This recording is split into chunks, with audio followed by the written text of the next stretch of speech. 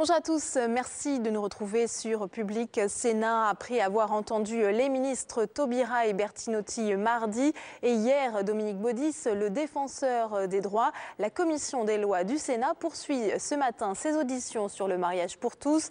Elle entend des représentants des professions juridiques qui interviennent auprès des familles comme les notaires par exemple, mais également le président du Conseil national d'accès aux origines personnelles. À noter que l'examen du projet de loi ouvrant le mariage aux personnes de même sexe sera finalement examiné par les sénateurs en séance publique à partir du 4 avril prochain. Tout de suite donc, sans plus tarder, ces auditions. Bonne matinée à tous. Mes chers collègues, nous allons commencer euh, pratiquement à l'heure, car la matinée sera longue, mais en même temps, elle sera comme passionnante. J'ai eu l'occasion de dire hier à la conférence des présidents que nous avions procédé à déjà 40 ou 50 heures d'audition, je ne sais plus, euh, en prenant toujours le temps nécessaire, de manière à ce qu'elles fussent instructives et en même temps à ce qu'elles se déroulassent dans un climat particulièrement serein. Et cela est précieux, mesdames et messieurs. Donc, euh, nous avons l'honneur d'accueillir Monsieur Jean Tarade, président du Conseil supérieur du notariat. Monsieur Jacques Combray, président de la section famille de l'Institut d'études juridiques. Et Madame Christine Mandeli, administrateur euh, ou administratrice, comme elle voudra, chargée des relations avec les institutions. Euh, donc, euh, Monsieur le Président, je vais d'abord vous donner la parole pour que vous puissiez peut-être en un quart d'heure, vingt minutes, comme vous le souhaiterez, euh, nous faire part euh, de vos appréciations et de vos remarques sur ce projet de loi portant sur le mariage des couples de personnes de même sexe. Après quoi, je donnerai la parole à Jean-Pierre Michel, qui présidera la suite de la séance. Je serai sans doute obligé de partir avant la fin de même de la présente audition et je vous prie de m'en excuser, mais ce sera un bonheur euh, pour vous d'être présidé par Jean-Pierre Michel, comme toujours d'ailleurs, parce que je dois aller à une réunion stratégique. Et vous savez bien que les réunions stratégiques, il vaut mieux euh, ne pas les manquer, même, même si euh, j'aurais des plaisirs de ne pas entendre toute la matinée, mais comme tout est enregistré, que tout est filmé, de toute façon, on ne perd aucune ligne. Et je donnerai aussi la parole et retranscrit, grâce au service du compte-rendu analytique que nous ne saurions trop remercier. Et du compte-rendu intégral aussi. Ben oui, puisque nous avons... Bon, alors je remercie les deux services qui travaillent main dans la main. Et alors nous donnerons aussi la parole à Madame Michel Meunier, rapporteur pour la Commission des affaires sociales. Bien, Monsieur le Président. Merci, Monsieur le Président. L'honneur est pour nous et merci de votre accueil. Euh, je vais vous présenter un, propos liminaire et ensuite euh, je donnerai la parole à mon confrère et ami Jacques Combray, qui est, comme vous l'avez souligné, euh, spécialiste, plus particulièrement spécialiste de ces questions. Alors, en, propos liminaire, je souhaiterais dire que les notaires sont effectivement au, service de leurs clients et de ce fait établissent déjà un certain nombre d'actes pour les couples homosexuels notamment évidemment dans le cadre de la mise en œuvre des PAX euh, pour garantir la sécurité de leurs engagements, mais aussi euh, nous avons l'habitude de traiter euh, avec des clients qui sont mariés euh, des clients de même sexe qui sont mariés, puisque euh, le mariage entre personnes du même sexe existe dans un certain nombre d'États, euh, notamment de, l'Union européenne, et que, eh bien, il arrive qu'un couple de personnes de même sexe mariées à l'étranger achète un bien immobilier en France ou décède et sa succession fait, contient des biens immobiliers en France. Donc nous avons la pratique déjà euh, de, du mariage homosexuel dans notre pratique quotidienne. Cela dit, euh, nous sommes confrontés souvent à des situations que la loi ne règle pas. Et euh, notre expérience nous conduit à permettre d'attirer l'attention du législateur sur les effets juridiques des dispositions de la loi lorsque précisément elles sont incomplètes ou imprécises. en effet, l'ouverture du mariage aux personnes de même sexe euh, ne se résume pas à l'ouverture de la cérémonie du mariage euh, ou à mettre en cohérence le vocabulaire entre mari et femme, époux, épouse, père, mère, parents. il y a d'autres conséquences, notamment sur le droit de la filiation et sur le droit de la famille en général. Alors face à ces bouleversements, il est nécessaire d'éviter toute précipitation et de privilégier la concertation afin de mieux évaluer les enjeux de la réforme. Preuve en est la loi instaurant le Pax en 1999. Ce texte était issu de débats passionnés mais cloisonnés entre les partisans du pour et les partisans du contre.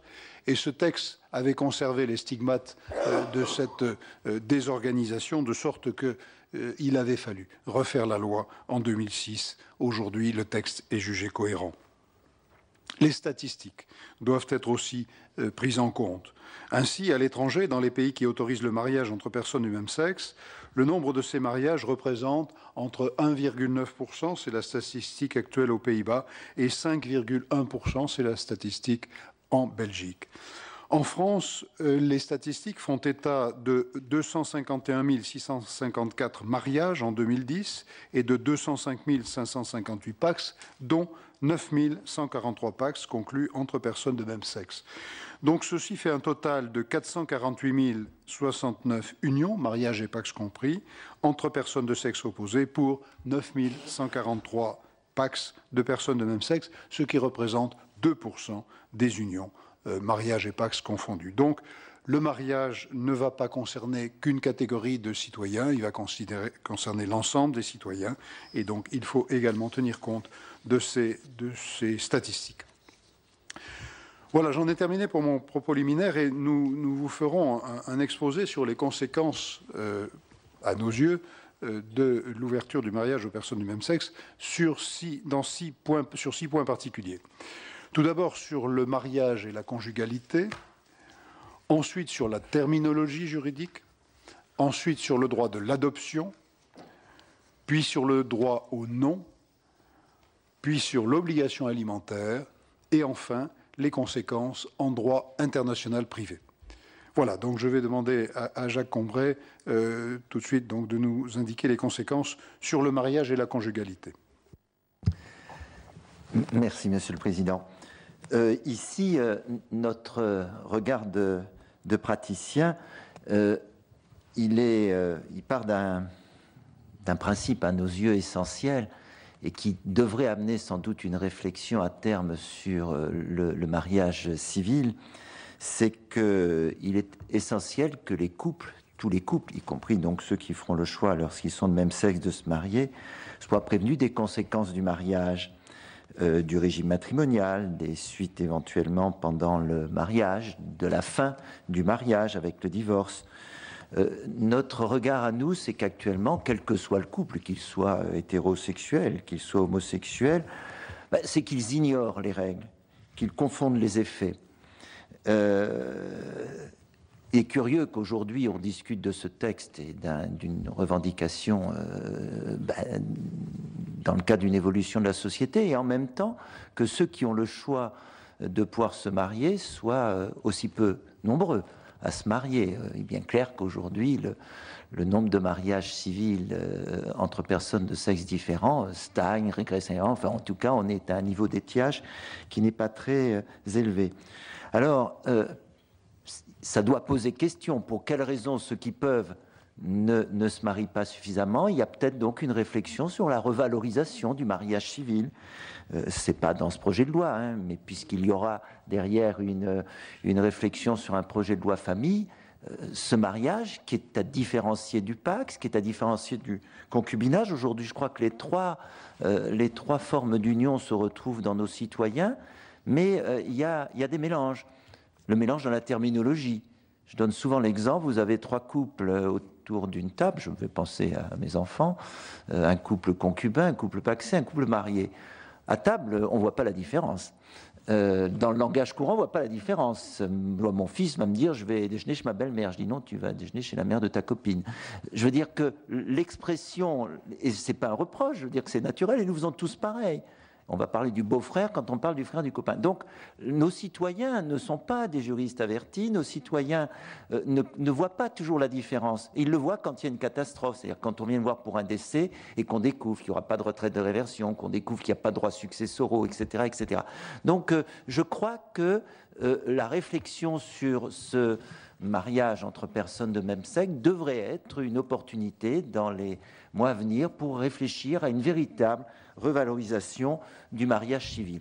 Très rapidement, une autre euh, remarque à propos des effets, euh, des conséquences donc de, cette réforme, euh, notamment en matière de pension de réversion. J'y ai fait allusion il y a un instant.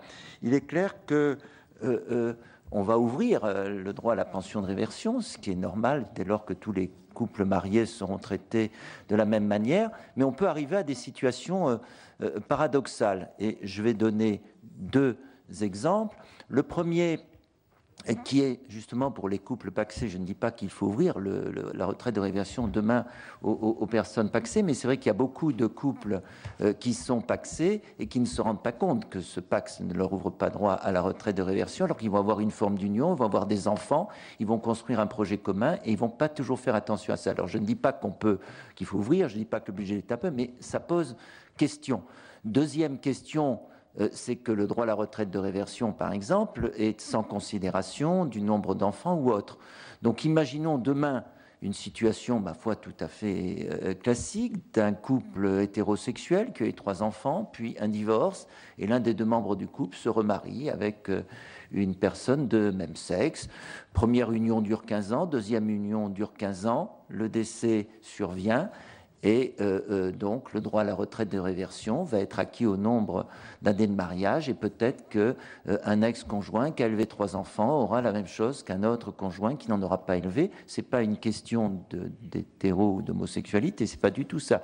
C'est tous les effets sur l'ensemble des couples de cette réforme qui, sans doute, devrait mériter réflexion. Là encore, il ne s'agit pas de dire il faut traiter ça dans le texte, on ne va surtout pas perturber quelque chose qui est euh, important, mais de dire ben voilà, ça doit ouvrir des pistes pour l'avenir de réflexion euh, sur ces sujets-là.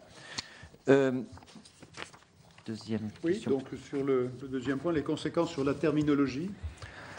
Alors sur la terminologie, le texte a, beaucoup évolué en première lecture à l'Assemblée nationale et à nos yeux a évolué dans le bon sens.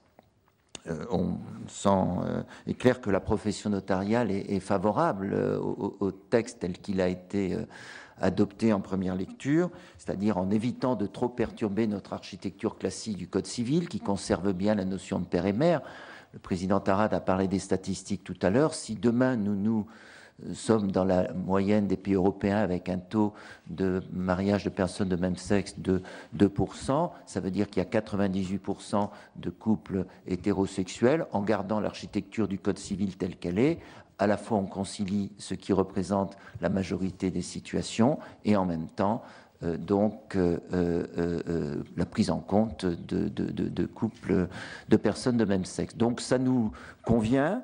Euh, je crois que, sans, chercher à se mettre en valeur, je crois que nous avons bien travaillé avec euh, la commission des lois à l'Assemblée nationale. On a échangé, essayé d'avancer pour euh, que cette évolution soit, soit, soit, soit prise en compte. Donc ça nous, ça nous convient, de la même manière que euh, nous considérons comme bien fondée l'exclusion du champ d'application de l'article 6.1 des dispositions du titre 7 relative à la filiation. Je crois que la rédaction est bonne. Alors on a simplement une remarque de forme euh, qu'on soumet à votre appréciation. C'est le, positionnement euh, de, donc de, dans l'article 4 du projet de loi de, de, cette nouvelle disposition, puisqu'on l'a mise après l'article 6 première partie, toute la partie qui, qui est préalable à notre code civil, euh, donc tout ce qui est la publication des effets, l'application de la loi en général, donc tout en tête du livre premier, et on l'a mis avant l'article 7 du Code civil sur l'exercice des droits civils. Est-ce que c'est vraiment le bon positionnement, c'est-à-dire un endroit du Code civil où on affirme quelques grands principes? Est-ce que ça se situerait peut-être pas mieux euh, euh, à la fin de, des, articles préliminaires du titre 1 des droits civils, c'est-à-dire entre les articles 7 et 15, et peut-être après le 15. Voilà, c'est peut-être une question de présentation, ça trouverait sans doute un petit peu mieux sa place. Voilà. Euh, deuxième euh, modification euh, donc sur la terminologie, c'est l'article 4 bis du, projet de loi, où donc tel qu'il a été voté, on indique que l'ensemble des dispositions législatives en vigueur, à l'exception des dispositions civiles, s'appliquent actuellement également aux conjoints de même sexe, etc. Il nous semble là que peut-être ce, texte, cette rédaction est peut-être un peu ambiguë, un peu lacunaire, parce que l'expression l'ensemble des dispositions législatives en vigueur laisse entendre, par exemple, que les conjoints de même sexe peuvent prétendre aux mêmes droits et obligations que les conjoints de sexe différents, notamment pour cette fameuse PMA qui a déjà donné lieu à la discussion. Alors effectivement, quand on voit l'exposé sommaire de l'amendement pour comprendre, on comprend que la disposition ne s'appliquera pas au titre 4 du livre premier de la deuxième partie du Code de la santé publique relatif à la PMA, dans lequel on fait référence à l'homme et la femme en raison de leur sexe et non au mari et à la femme, comme le prévoit l'article 4 bis mais on soumet à la réflexion euh, donc des sénateurs que dans un souci peut-être de lisibilité, de meilleure compréhension du texte, il nous semble que les dispositions relatives à l'association médicalement à la, procréation pourraient être expressément exclues. En tout cas, c'est une euh, suggestion et non que l'on doive raisonner à contrario par une analyse de l'article pour conclure que la PMA est bien exclue. Voilà, c'est une suggestion que nous vous faisons euh, aussi sur la terminologie. Alors, troisième euh, type de conséquence, et là plus, plus importante à nos yeux, sur le droit de l'adoption. Voilà, donc ici, euh, donc, il y a euh, des points importants dans, dans la réforme qu'il faut, qu'il faut, qu'il faut intégrer. Je ne vais pas toutes les reprendre pour pas prolonger trop notre intervention et il y aura, ça figurera dans notre, dans notre document, dans notre document écrit, mais on, on s'interroge sur quelques points. On sait que les copies, les extraits d'actes de naissance font naître l'enfant de deux naître donc l'enfant de deux parents de même sexe si demain euh, l'enfant est, adopté par, par, deux personnes de même sexe. Euh, or, euh, jusqu'à présent, notamment en matière d'adoption plénière, on rendait invisible l'adoption plénière. il est clair que là, indirectement, l'adoption plénière deviendra visible. On ne dit pas qu'on peut l'éviter, mais bon, c'est un constat. Deuxièmement, euh, euh, bon, ça a déjà été dit en d'autres circonstances et par d'autres personnes, c'est clair que nous savons tous, dans ce contexte européen dans lequel nous nous euh, situons, qu'un certain nombre de nos pays voisins admettent la procréation médicalement assistée. Bah, il faut appeler un chat un chat. Il pourra y avoir une PMA qui sera réalisée à l'étranger. Il pourra y avoir derrière euh, l'adoption par euh, euh, l'épouse de la mère dans cet exemple-là. Rien ne doit interdire normalement le prononcé de l'adoption en France, dès lors qu'elle est demandée par la conjointe de la mère biologique. et puis on n'a pas à interroger normalement sur les modalités de conception de l'enfant. Donc il faut admettre, qu'on le veuille ou non, indirectement, on validera euh, une PMA qui pourrait avoir été pratiquée à l'étranger euh, en l'état actuel de notre législation de manière frauduleuse. Alors, nous avons bien compris que dans l'esprit du législateur, il y avait sans doute une réflexion qui continuerait à être menée sur ce sujet-là à l'occasion d'un autre texte, mais bon, euh, appelons un chat un chat, dès lors que l'on intègre l'adoption, on valide indirectement la technique, même si elle est pratiquée à l'étranger. Donc, euh, ces sujets-là seront certainement euh, intégrés pardon, dans une future réforme de l'adoption. Ceci dit, euh, plus important pour nous en pratique, de la même manière qu'on a dit tout à l'heure que cette réforme pouvait être l'occasion de revaloriser le mariage civil, je crois que tout le monde est d'accord pour dire qu'il faut absolument réfléchir à une réforme complète de l'adoption. Notre système est complètement incohérent. Pourquoi admettre aujourd'hui qu'un couple, par exemple, de partenaires paxés pourra recourir, ou un couple de concubins stables, à une PMA, mais ne peut pas adopter? Un couple de personnes de même sexe mariées pourra adopter, mais ne peut pas recourir à une PMA. Nous avons une architecture qui se trouve complètement déséquilibrée. Là encore, nous comprenons tout à fait que dans le cadre d'un projet de loi tel que celui-là, on ne puisse pas toucher à tout l'édifice du mariage, mais on voit bien qu'on sort à chaque fois de la réflexion de mariage entre personnes de même sexe par rapport à des mariages de sexe opposé pour dire qu'on touche à toute l'architecture du droit de euh, l'adoption. Et donc euh, là, il y a vraiment assez rapidement, si possible, à mener une réflexion globale sur ce sujet-là. Euh, on en profite si demain la réflexion était menée sur plus globalement toute l'adoption pour rappeler qu'il y a des incohérences dans notre système, par exemple sur le plan fiscal, où on traite différemment la fiscalité entre adopté et adoptant, suivant que j'adopte l'enfant du conjoint, suivant une adoption extérieure, c'est une adoption simple, une adoption plénière. Je crois que ça ne se justifie pas, où on met l'adoption qui crée un vrai lien de parenté, et euh, il faudra à un moment donné accepter que l'on puisse traiter sans doute tout le monde pareil. En tout cas, c'est une réflexion que nous vous faisons. Il y a également, par rapport au projet de loi, alors peut-être pour nous un petit peu une interrogation. Euh, je rappelle que dans l'article 346 actuel du Code civil, nul ne peut être adopté par plusieurs personnes si ce n'est par deux époux. C'est dans l'adoption plénière et c'est un texte qui, par envoi, s'applique également à l'adoption simple. Alors, le projet de loi revient euh, sur ce principe et il vise trois hypothèses, quelle que soit l'union contractée. Là encore, c'est pareil, on ne s'occupe pas de la forme d'union. L'adoption plénière de l'enfant euh, du conjoint, qui est permise lorsque l'enfant a fait l'objet d'une adoption plénière par le seul conjoint.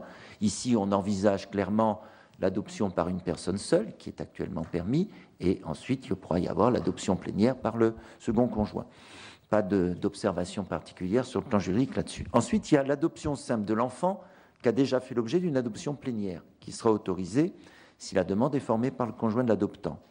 Et puis aussi l'adoption simple de l'enfant, qui a déjà fait l'objet d'une adoption simple autorisée, si euh, c'est donc 360 modifié. Alors là, il nous semble que la coordination de l'alinéa 2, de l'alinéa 3, peut amener peut-être à, si on n'y fait pas attention, à une chaîne d'adoption et à, ça peut nous poser peut-être quelques, quelques difficultés pratiques. Je vous donne un, exemple simple. Madame Ducroix adopte plénièrement une petite fille qui s'appelle Maude. Et puis elle se marie quelques années plus tard avec Monsieur Léon. Et Monsieur Léon, qui est proche effectivement de Maude, l'adopte simplement en application de 360 alinéa 2 modifié, nouvelle rédaction. Ici, l'autorité parentale sera réalisée par M. Léon, Mme Ducroix. Puis après, il divorce, mode à 8 ans. L'adoption simple n'est pas révoquée. M. Léon continue à exercer conjointement l'autorité parentale. Puis il se remarie quelques années plus tard avec Mme Leroux. Et avec 360 alinéa 3, sous réserve du consentement du Ducroix de M. Léon, Mme Leroux peut adopter simplement aussi cet enfant. Donc là, il faut quand même réfléchir aux conséquences de ces solutions-là sur le nom de l'enfant, sur l'autorité parentale, sur l'obligation alimentaire, sur les droits successoraux euh, en cas de décès de l'enfant. Quels seront les droits successoraux des adoptants? Parce que dans notre Code civil 368 alinéa 1 ne vise pas cette situation. On parle de la famille d'origine et de la famille. Euh, donc là aussi, c'est pareil. Ça peut poser.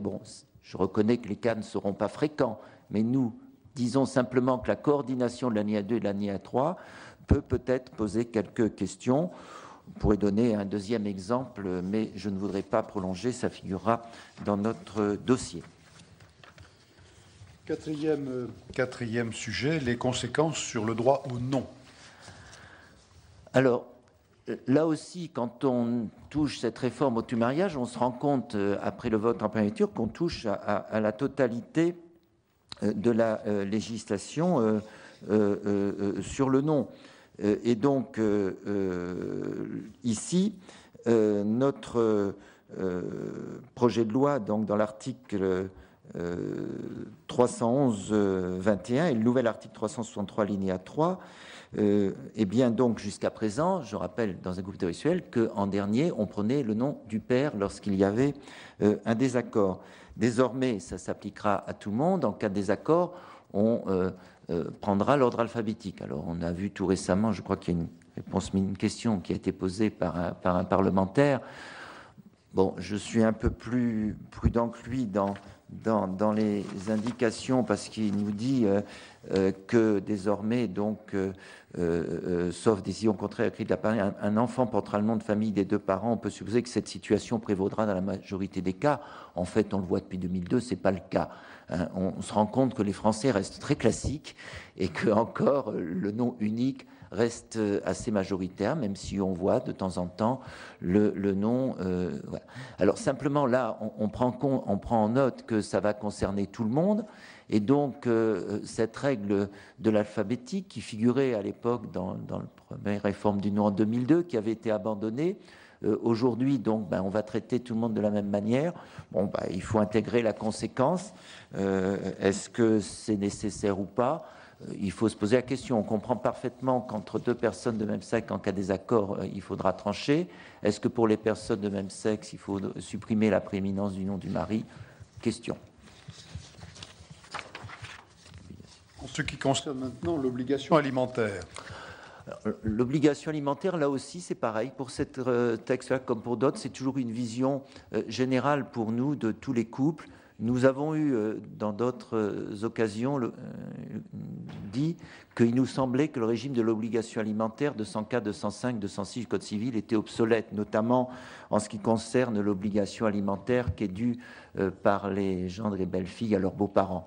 Je crois que là aussi, dans le cadre d'un projet de réforme demain du droit de la famille, il faut se saisir de notre euh, arsenal juridique en matière d'obligations alimentaires et euh, sans doute revoir euh, ce fait que la rupture de l'alliance fait que s'il y a des enfants issus de l'union, je vais devoir donc devoir encore des aliments à mon beau-père, ma belle-mère. S'il n'y a pas d'enfants, je ne veux pas en devoir. Je pense que c'est sans doute pas tout à fait cohérent, et n'oubliant pas que l'obligation alimentaire est réciproque. Hein, c'est surtout euh, euh, cet aspect de l'obligation alimentaire qui nous paraîtrait devoir euh, faire l'objet d'une future réflexion. Là aussi, dans le petit dossier que l'on a préparé, on a mis quelques exemples de situations qui nous sembleraient ne pas être très cohérentes. Et puis, il faut faire attention aussi avec la multiplication des liens, au risque de multiplication des obligations alimentaires, dans un sens comme dans l'autre. Or, nous le savons aujourd'hui sur le terrain, l'obligation alimentaire est un réel problème.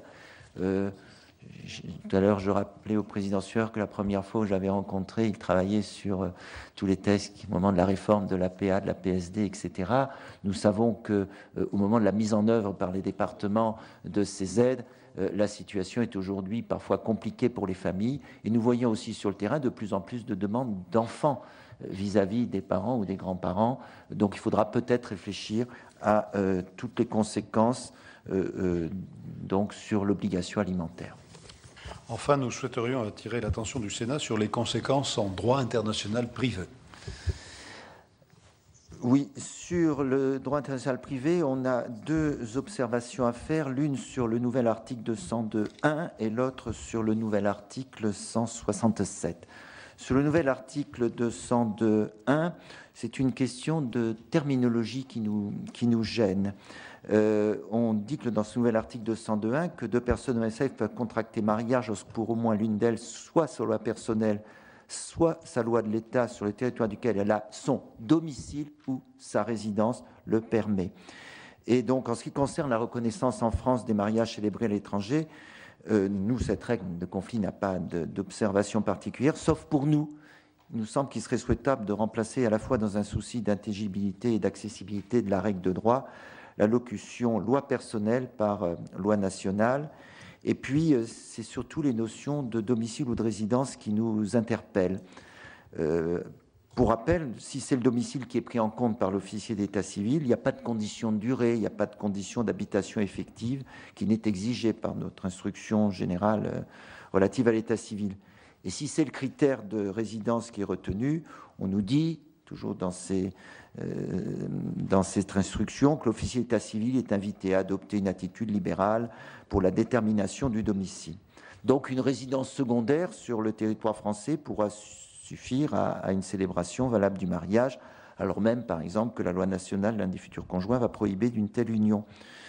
Euh, exemple, deux Suisses de même sexe se marient en France parce qu'ils ont une résidence secondaire en France. Ils auront deux statuts juridiques, mariés lorsqu'ils seront en France, et euh, donc euh, ils ne le seront plus en Suisse, où là leur mariage sera requalifié en partenariat. Mais pour la terminologie, il nous semble que donc euh, euh, l'article 202 alinéa 1 devrait plutôt prévoir deux critères de rattachement alternatifs, l'un personnel par la nationalité, qui est le critère classique en la matière, et l'autre par la résidence habituelle, euh, c'est-à-dire un rattachement effectif à la France qui garantit une stabilité. La résidence habituelle, c'est quelque chose qu'on connaît en droit international privé pour le statut personnel. Ça reflète le milieu effectif de vie de l'intéressé, ça garantit la stabilité. Il y a beaucoup de textes qui font référence. Prenez 311.15 par exemple du Code civil en matière de possession d'État. Dans le récent règlement du 4 juillet 2012 sur les successions, euh, le règlement européen, on se réfère à la résidence habituelle en ces termes, lien étroit et stable avec l'État concerné. Et puis on regarde un peu ce qui se passe chez nos voisins. Par exemple, en Belgique, pour le mariage entre personnes de même sexe, c'est un rattachement territorial par la résidence habituelle de l'un des intéressés qui justifie euh, l'éviction d'une loi personnelle prohibitive au titre de l'exception de l'ordre public. Donc il ne s'agit pas de euh, euh, remettre en cause la règle, elle nous paraît la règle bonne, c'est peut-être une question de terminologie sur laquelle il faudra réfléchir. Là aussi, on vous met quelques notes.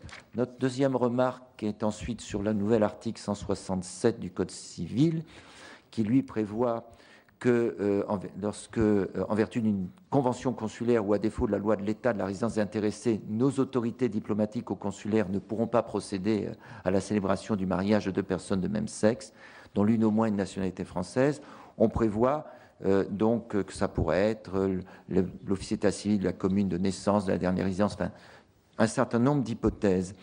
Ici, ce texte a pour effet d'écarter euh, l'application d'une éventuelle convention consulaire ou de la loi du lieu de résidence en permettant donc de délocaliser temporairement euh, la situation.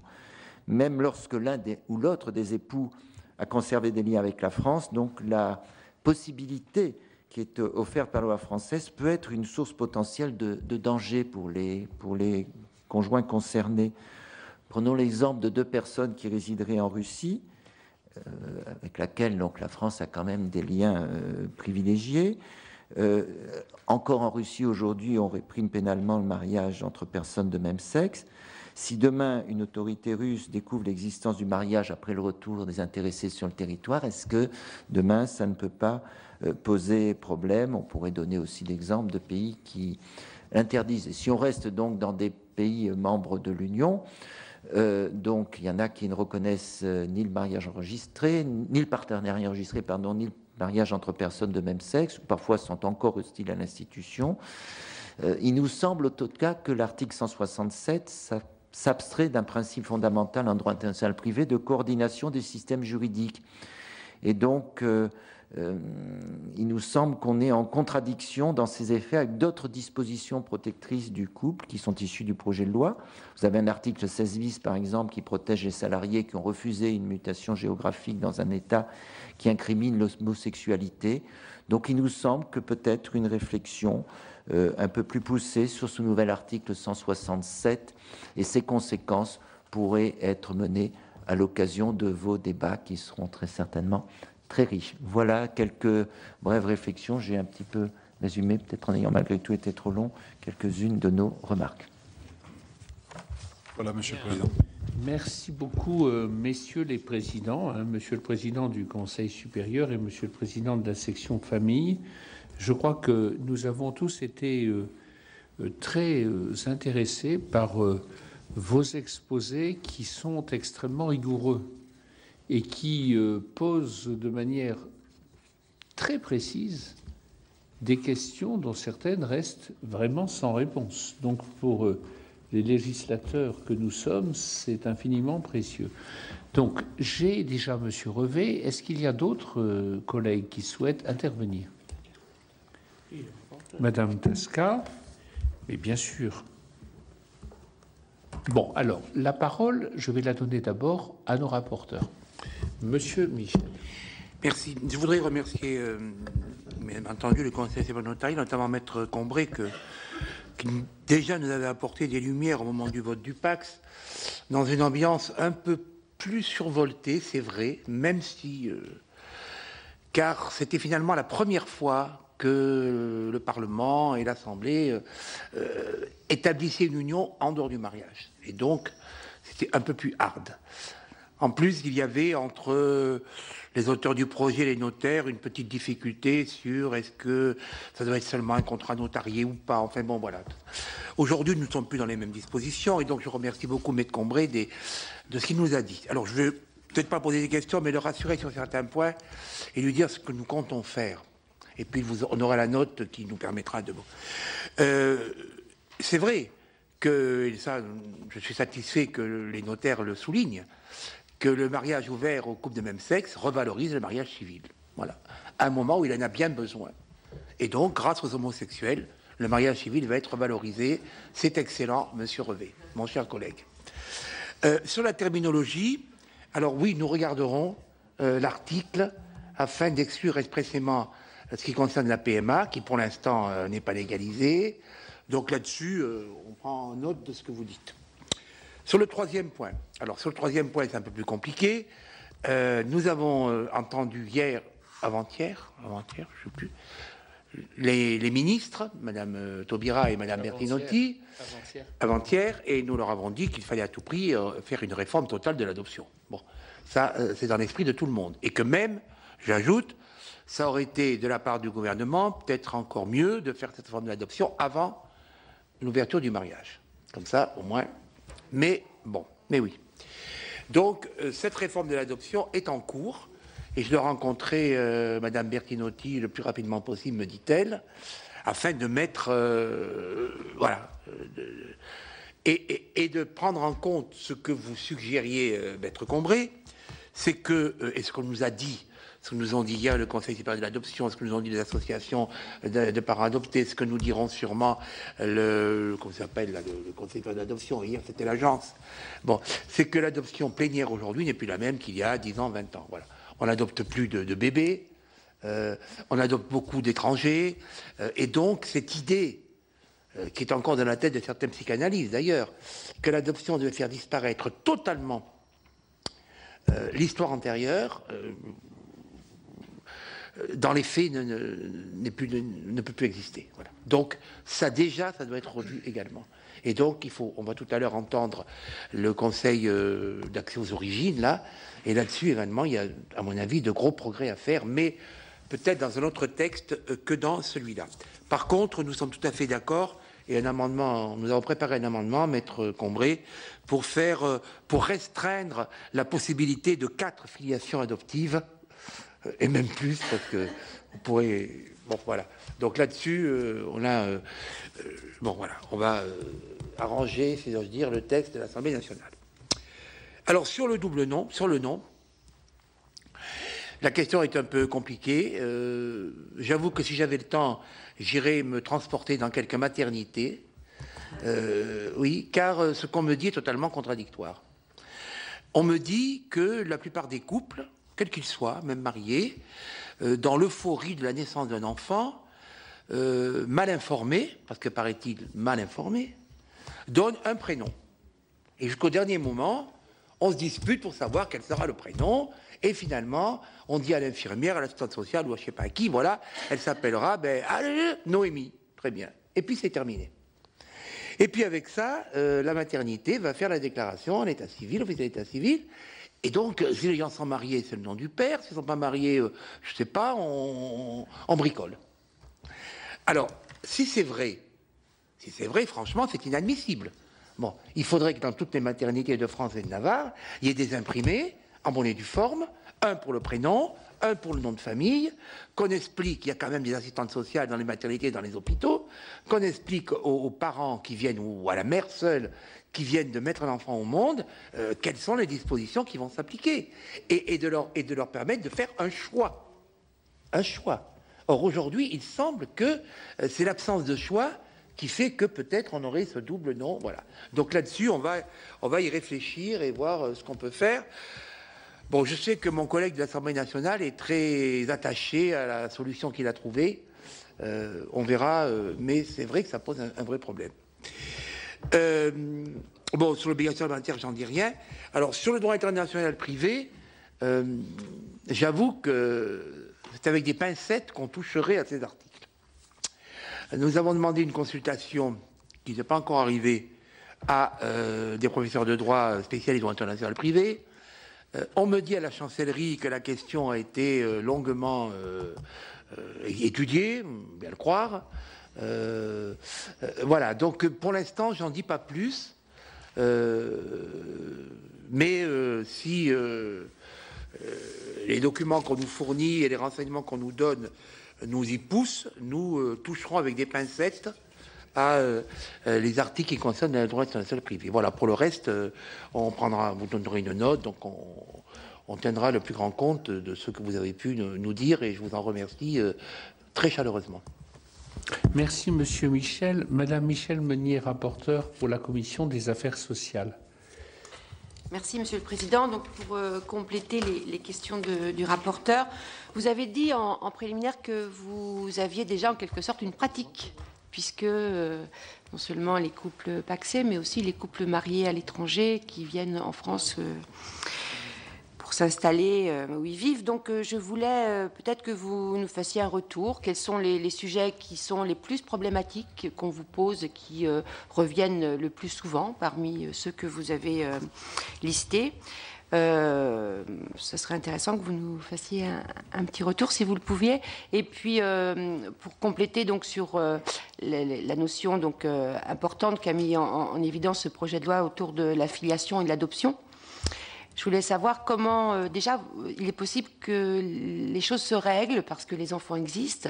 Il y a déjà des enfants qui vivent dans des couples de personnes de même sexe, qui sont en situation euh, d'insécurité juridique. Donc voilà, qu'est-ce qui est entre le, pire et, le moins mal euh, aujourd'hui? Merci Madame Meunier. Nous allons prendre les autres intervenants sous la présidence de Jean-Pierre Michel. Merci. Donc, Monsieur Revé, Madame Tascan ont demandé la parole. Est-ce qu'il y en a d'autres? Car après, on arrêtera. C'est Soli. Voilà. Donc, euh, comme il est. Euh, voilà. Vous avez 10 minutes pour répondre globalement. Alors, Monsieur Revé. Oui, merci, Monsieur le Président. Merci, euh, messieurs les présidents Tarad et, et Combré, de la présentation qui nous a été faite. Monsieur le Président Tarad, vous avez commencé votre propos et à chacune de ces interventions, le président Combré l'a repris euh, en disant qu'il euh, y a une nécessité de bien faire réfléchir, euh, si la loi est votée, aux conséquences d'application de, cette loi. Alors je suppose que vous faisiez référence au futur marié entre parenthèses pour dire avant que vous mariez, on a besoin vous avez besoin de bien réfléchir des conséquences, et lorsque que le mariage est élargi, je serais tenté de nous l'appliquer à nous. D'abord, en tant que législateur, il y a des grands spécialistes, mais, mais euh, chacun a une voix et doit, je pense, euh, pouvoir voter en conscience des conséquences du texte qu'il vote. C'est d'abord pour nous, et je ne suis pas sûr qu'on mesure aujourd'hui toutes les conséquences de l'application du texte. Enfin, en tout cas, moi, je ne mesure pas. et, je serais tenté de dire, monsieur le rapporteur, que ce serait bien qu'on ait un tableau comparatif euh, des situations. Si on avait ça, ça éclairerait euh, beaucoup de nos, collègues. Je ne sais pas si c'est possible. Ma question, euh, Monsieur le Président, lorsque Monsieur le Président de la République, dans la campagne électorale, puisque c'est une application d'une promesse électorale, présenté, euh, ça nous est présenté comme ça, a lancé cette idée. Je ne suis pas sûr, et ce n'est pas lui faire injure, ni à lui ni à ses conseillers, qu'il ait prévu toutes les conséquences de la proposition qu'il faisait. Et donc, euh, à partir de là, et des statistiques que vous nous avez données, c'est important. Vous avez dit, euh, il y a, j'arrondis, hein, 250 000 mariages, 209 000 PAX et 9 000 Pax pour des personnes de même sexe. C'est ce que vous nous avez euh, indiqué. Ça veut dire qu'il y a pratiquement presque autant de Pax que de mariages aujourd'hui. Et donc, euh, l'interrogation est dès lors que 90% des Pax sont des mariages hétérosexuels, c'est bien ça, si j'ai bien retenu les chiffres, il serait intéressant de savoir pour quelles raisons euh, des gens se paxent, quitte à se marier après. Je peux vous raconter, je ne vais pas le, allonger, euh, euh, une, une, anecdote, une jeune fille qui vient me voir pour un problème de déplacement ou autre, et, je, lui demande dans quelle situation, parce que pour essayer d'intervenir, il faut avoir les éléments. je lui dis, vous êtes marié? Non, non. bon, et puis je lui dis, mais attendez, pour essayer de vous rapprocher, il faut au moins qu'il y ait quelques éléments. Elle me dit, je suis paxé. Je lui dis, quelle différence vous faites entre le mariage et le pax? Elle me dit, mais ça n'a rien à voir. Le mariage, c'est quelque chose de sérieux, qui engage et autres. Le pax, c'est un formulaire. Non, mais excusez-moi, c'est sa réponse. Formulaire administratif. Après, je verrai si je me marie. Bien. Moi, je serais intéressé à savoir, pour vous qui êtes. Je ne parle pas de l'affiliation.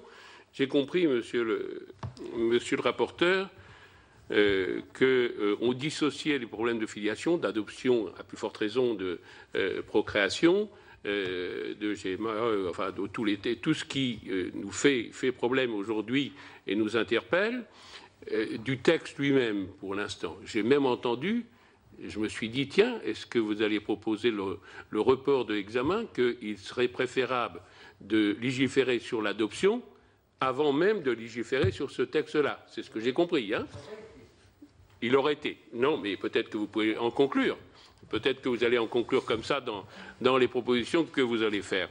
Euh, est-ce que l'on pourrait avoir une indication Parce que je crois honnêtement que lorsque le président de la République a fait la proposition, il voulait prendre en compte la situation de personnes de même sexe, puisque le mariage, il existait. Bon. À partir de là, euh, qu'est-ce que euh, ça veut dire qu'il y a des dispositions qui n'ont pas été prévues dans le pacte et je crois qu'on a reçu tous des personnes qui vivent ensemble et qui sont de même sexe, qui ne sont pas dans le mariage et qui, plutôt qui ne sont pas dans le pacte et, dont il serait nécessaire, nécessaire qu'elles y soient pour répondre vraiment aux attentes de ces personnes pour lesquelles le texte de loi est prévu. Est-ce que euh, on pourrait avoir des, éléments euh, en quoi un aménagement du Pax pourrait effectivement répondre aux attentes légitimes, parce que euh, la vie commune euh, de personnes du même sexe, n'est pas un fait nouveau, ça existe depuis tous les temps, et que le législateur s'en préoccupe, ça me paraît légitime. Ce n'est pas forcément le mariage selon moi, mais ce serait intéressant d'avoir ces aspects euh, pour vous qui êtes notaire et donc euh, tous les aspects succession, les aspects financiers, les aspects euh, aide alimentaire et autres, avoir tous ces éléments légitimes pour moi en tout cas de la part de gens qui souhaitent vivre ensemble. Merci mon cher collègue. Madame Tasca, auparavant je vous indique, Monsieur Revé, que vous suivez à peu près plus de 50% des auditions. Donc vous êtes très informé de tout ce qui se dit ici. Et dans le rapport, il y aura des éléments de comparaison, bien entendu. Oui, merci Monsieur le Président. C'est moins une question qu'une, d'abord une, une, remarque d'ordre d'ordre général. Je vous remercie beaucoup de ce que vous nous avez apporté en pointant de façon très objective les questions juridiques que soulève euh, ce texte et en faisant d'ailleurs un certain nombre de suggestions dont nous ferons le, le, le meilleur usage. Mais ce qui m'importe euh, dans, la manière dont vous avez traité le sujet, c'est que vous avez beaucoup insisté sur le fait que ce texte doit être considéré comme affectant l'ensemble des couples, quelle que soit, euh, je dirais, leur, orientation sexuelle, leur composition et tout. Et euh, je me faisais la réflexion en vous entendant que nous sommes avec un texte de loi qui a été pensé à l'origine euh, pour répondre, réparer une discrimination, c'est ça euh, qui était l'objectif euh, majeur, et répondre à des revendications légitimes d'une minorité, qui est la minorité homosexuelle. Et on voit que en, traitant ce sujet à l'attention d'une minorité, en fait, on ne peut pas ne pas toucher à l'édifice complet. Et c'est ce, qui m'a paru très très intéressant dans la manière dont vous avez euh, traiter le, sujet. Alors bon, le choix politique fait que ce texte passe avant les révisions générales, mais je pense que dans le débat, même sur ce texte, nous, nous aurons à prendre en compte cet effet euh, global sur la vie des, des couples. Euh, et puis j'avais une toute petite question. Euh, parmi les, les paxés, euh, combien sont-ils à venir vous voir dans vos études notariales pour établir un contrat?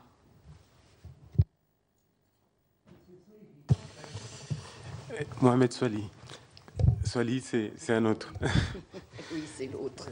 Oui, merci, Monsieur le Président. Euh, je souhaite revenir sur euh, le constat que vous avez fait tout à l'heure euh, par rapport à la période de désaffection euh, de mariage que nous sommes en train de, traverser. Et vous avez dit que c'est à ce moment-là que cette réforme qui, qui, veut ouvrir le mariage à, la catégorie des, homosexuels intervient. Et vous avez, vous avez dit qu'il y aurait certainement une nécessité de réformer plus en avant l'institution du, du, mariage pour revaloriser cette institution. Alors j'avais deux questions, mais Jean-Pierre Michel a répondu à la première. Euh, puisque la première question consistait à vous demander euh, si justement cette réforme euh, ne contribue pas à revaloriser le mariage, mais il a dit que, que oui. Euh, et puis la, la, deuxième question, est-ce que euh, vous avez d'ores et déjà des idées, des pistes de réflexion qui iraient vers la, revalorisation du mariage?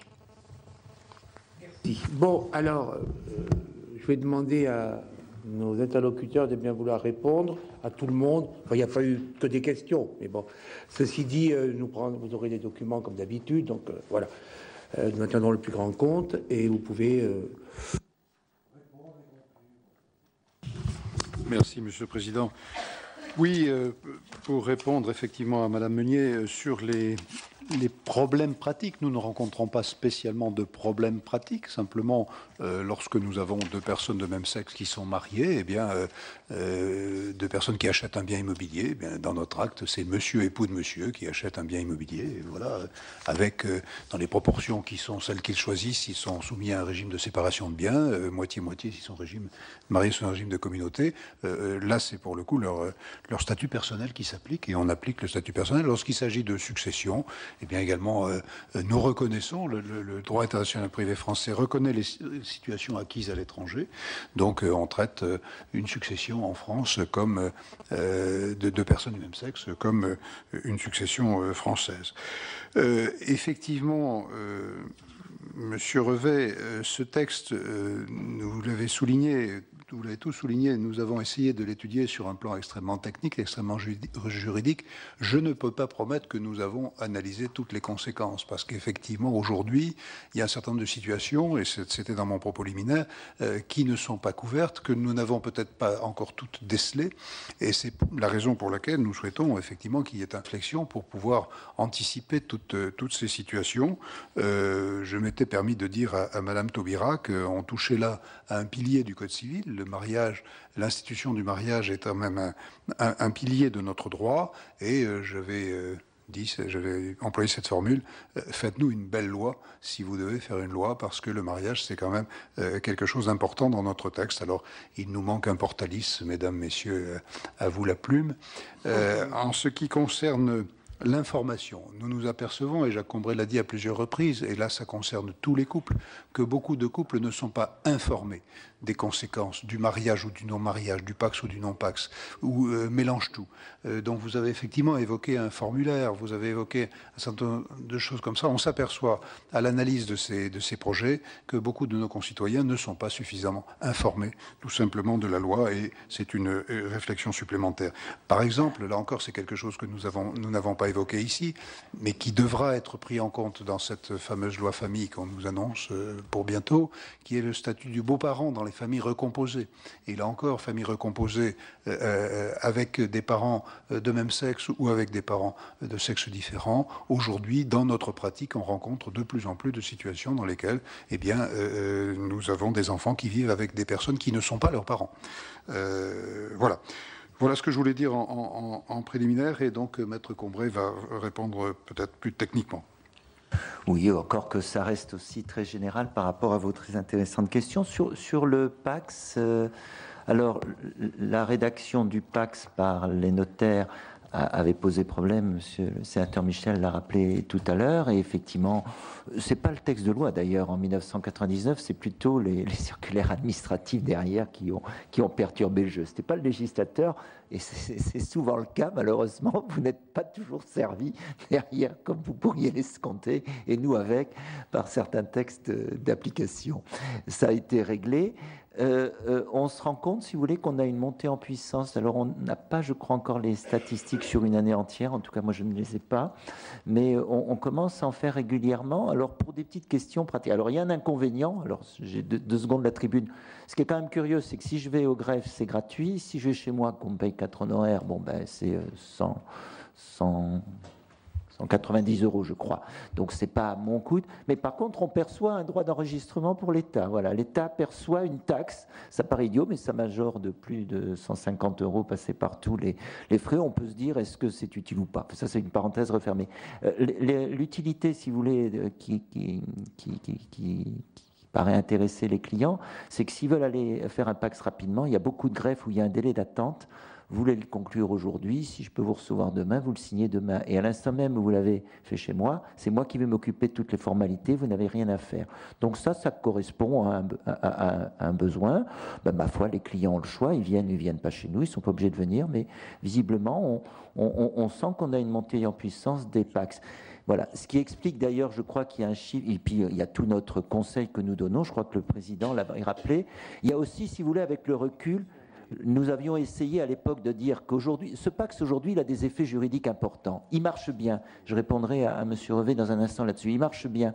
Simplement, euh, euh, justement parce qu'il est important, le contenu du contrat est important, euh, des conventions que l'on peut y mettre.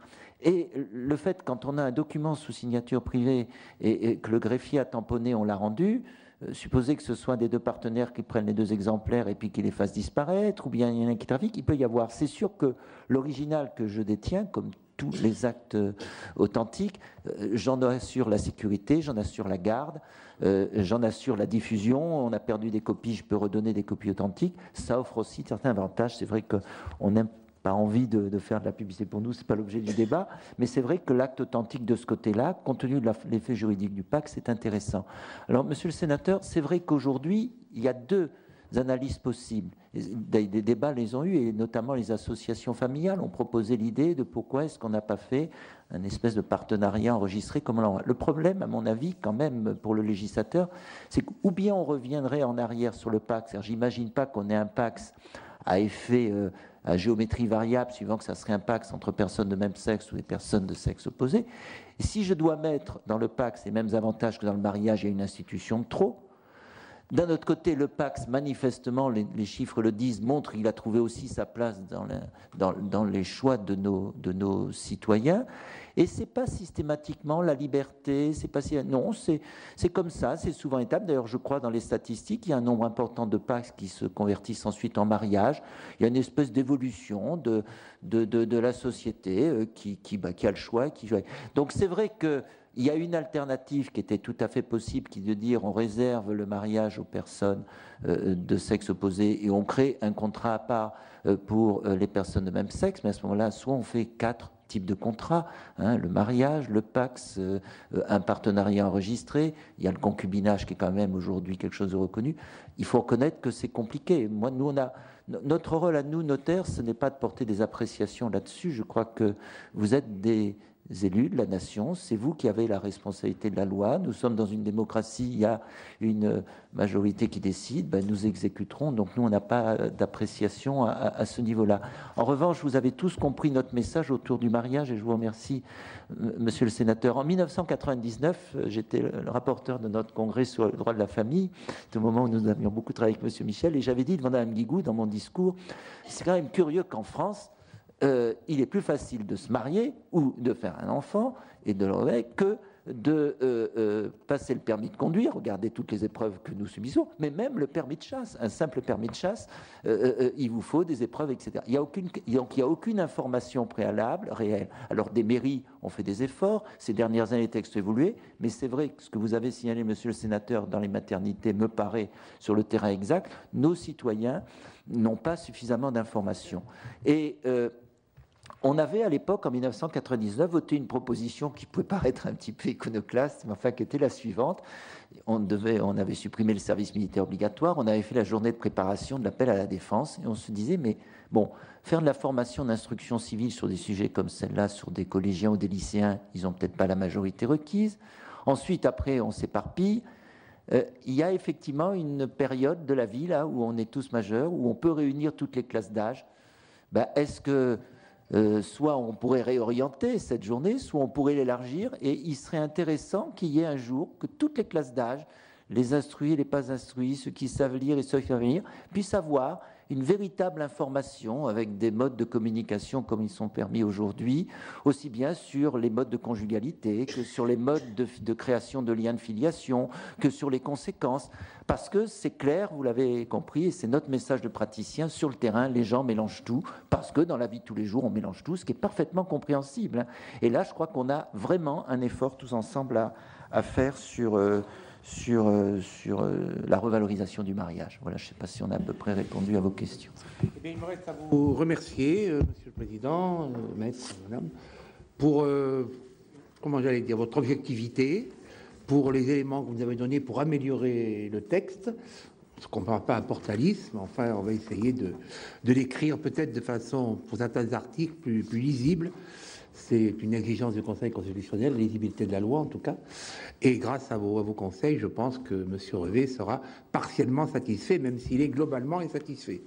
Voilà. Merci. Mes chers collègues, nous allons poursuivre après les notaires, les avocats et à la fin les magistrats. Voilà. Et puis entre deux, les origines. Donc, euh, nous avons fait appel au Conseil national du barreau qui réunit euh, l'ensemble des, avocats, même s'il y a encore des associations particulières pour les bâtonniers de Paris, le bâtonnier de, province, etc., etc. Mais bon, voilà. Donc, euh, il y a des, difficultés, des excuses, des retards, peu importe. Euh, nous avons ici Madame Corinne Denoy-Binteux, qui est avocate, membre du Conseil de l'ordre de Paris, qui, je suppose, plaide beaucoup dans les affaires familiales. Euh, et qui va nous donner la position du Conseil supérieur de notariat.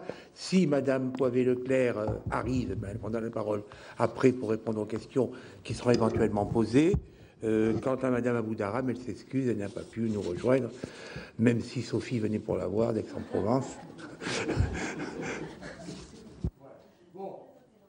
Parce que Madame Sophie Joissin est présente, ça je le dis pour l'extérieur. Donc, maître, vous pouvez, je sais pas, un quart d'heure, 20 minutes. Nous avons une heure en tout. On ne veut pas trop dépasser parce que jusqu'à midi et demi, jusqu'à une heure et demie, ça dure ce matin. Voilà. Donc, et puis après, on posera des questions. Merci en tout cas. Monsieur le rapporteur. Je vais peut-être effectivement faire un, un point euh, euh, suffisamment court pour permettre euh, davantage de, questions, parce qu'en fait, je, me suis permis de venir assister à diverses auditions que vous avez réalisées la semaine dernière et cette semaine, et donc j'ai pu cibler un peu les préoccupations que vous aviez. par ailleurs, j'ai déjà rencontré certains d'entre vous, puisque je me suis déjà présentée devant vous il y a quelques mois. Et euh, en substance, aujourd'hui, mon discours va être euh, sensiblement le même et a pour objet de vous dire que le texte qui est présenté touche à des problématiques essentielles qui doivent être analysées en profondeur avec la plus grande prudence. Il ouvre le mariage aux couples de même sexe en ayant pour objectif euh, de mettre un terme aux différences existantes sur le plan juridique avec les, les, couples hétérosexuels. Donc, comme je vous le disais, j'ai assisté à quelques auditions devant votre Assemblée la semaine dernière et j'ai entendu finalement que vos interrogations portaient assez peu sur la question du mariage. Le droit au mariage euh, entraîne un droit au divorce et en cela, évidemment, l'ouverture du mariage aux couples de même sexe est évidemment une avancée, euh, juridique en termes de protection. Donc je voudrais me concentrer, si vous voulez bien, sur la problématique de l'adoption, euh, parce qu'elle doit s'accompagner d'une réflexion plus vaste sur une refonte totale de nos textes sur la filiation. Madame le ministre de la Famille a été interrogée par un membre de votre Assemblée il y a quelques jours sur le calendrier envisagé pour réformer la filiation. Euh, je crois qu'elle n'a pas apporté de réponse précise sur ce calendrier et il semble que, cela n'interviendrait pas avant le printemps comme cela a été initialement envisagé. Et c'est évidemment euh, pour nous praticiens de droit de la famille euh, ce qui est la préoccupation essentielle. Comme vous l'avez vu, donc j'ai assisté, également aux auditions des professeurs de droit la semaine dernière. Euh, et c'est intéressant parce que quelles que soient finalement les prises de position individuelles, euh, qui sont qu'on comprend à demi-mot, euh, on voit que les juristes et les praticiens du droit parlent tous de la nécessité d'une réforme générale complète de la filiation. Il vous parle de la nécessité d'examiner les textes sur la filiation dans leur ensemble et pas seulement sur la base de ce seul projet, puisque c'est finalement les interrogations annexes qui sont, qui sont les plus fondamentales ici. Euh, c'est un texte qui se veut protecteur des statuts de l'enfant, de sa place dans la société civile, et c'est difficilement contestable sur ce point dans son principe, mais on doit veiller à une cohérence des textes et au fait que la protection que l'on souhaite apporter euh, sera donc euh, réelle. Euh, l'enfant ne choisit ni la famille dans laquelle il grandit, ni la séparation de ses parents. Dans les procédures de séparation, les magistrats, euh, en pratique, euh, s'intéressent pour statuer sur la résidence de l'enfant aux habitudes et aux repères que sont l'école, les amis, la famille et le couple parental au premier chef. Le fait qu'en cas de séparation, il n'y ait pas de lien juridique entre l'enfant et celui ou celle qu'il a élevé comme le sien, même s'il est même s'il ne l'est juridiquement pas, est une réelle difficulté pour nous parce que nous n'avons pas les moyens de garantir le maintien du lien euh, de, ce parent à l'enfant. Toute mesure donc qui permet notamment dans cette hypothèse la garantie du maintien du lien est évidemment intéressante pour nous en pratique. Mais mon propos, encore une fois, se veut incitatif à la plus grande prudence, dans la mesure où, compte tenu des enjeux, il est indispensable de prendre le temps de la réflexion, indispensable que cette réforme ne soit pas précipitée, qu'elle touche à toutes les questions qui doivent se poser et qu'elle n'entraîne pas des conséquences qui n'auraient pas été préalablement examinées. Puisqu'il s'agit d'avancer sur la reconnaissance en termes juridiques des familles homoparentales qui existent au demeurant déjà, la question serait de savoir s'il ne serait pas l'occasion de se demander ce qu'est la famille d'aujourd'hui et ce qu'on veut qu'elle soit demain. Ne serait-il pas l'occasion de se dire que les textes relatifs à la filiation doivent, en tout état de cause, être réformés sans plus attendre parce qu'ils ne correspondent plus à la réalité des familles d'aujourd'hui, que les couples soient hétérosexuels ou homosexuels? Ils ne correspondent plus à la réalité de la vie des gens que nous recevons dans nos cabinets, que nous ayons à assister des adultes ou que nous soyons avocats d'enfants. La refonte des textes est nécessaire, mais la réflexion doit être évidemment plus vaste et concerner non pas seulement l'adoption sur la base de textes qui vous est proposé, mais la PMA, la GPA, euh, l'accès aux origines et la présomption de paternité peut-être. S'agissant de l'adoption, cette question doit être examinée à l'aune de différentes problématiques. Parlons d'abord donc du Code civil qui en détermine les conditions. Pour mémoire, l'adoption, qu'elle soit plénière ou simple, est aujourd'hui seulement ouverte aux couples mariés depuis plus de deux ans, ainsi qu'à toute personne célibataire âgée de plus de, 28 ans. L'adoption conjointe n'est ouverte aux concubins, n'est pas ouverte aux concubins ou aux partenaires liés par un pax. Au regard du texte qui permet le mariage pour tous les couples, qu'ils soient hétérosexuels ou homosexuels, on peut légitimement s'interroger sur le sens du maintien d'une telle catégorisation des couples accessibles à l'adoption. Quel en serait le sens si les couples homosexuels se trouvent contraints de se marier pour fonder une famille via l'adoption C'était les propos tenus par euh, Martine Gros, qui a été euh, sociologue, qui a été entendue dans le cadre du projet de loi et qui disait Aujourd'hui, un enfant sur deux naît hors mariage, seuls les couples homosexuels devraient donc se marier pour être parents ensemble, ce qui crée donc une incohérence, vous le comprendrez bien. Parlons aussi des conditions dans lesquelles les adoptions interviennent en pratique.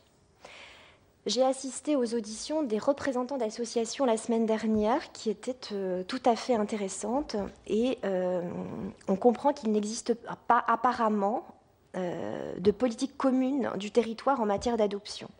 Chaque conseil général est maître de son département en la matière, à tel point qu'à demi-mot, certaines associations expliquent qu'il existe aujourd'hui une sorte de forum shopping de l'adoption, que certains candidats choisissent de s'installer dans tel ou tel département dans l'espoir d'accéder enfin au statut de parent.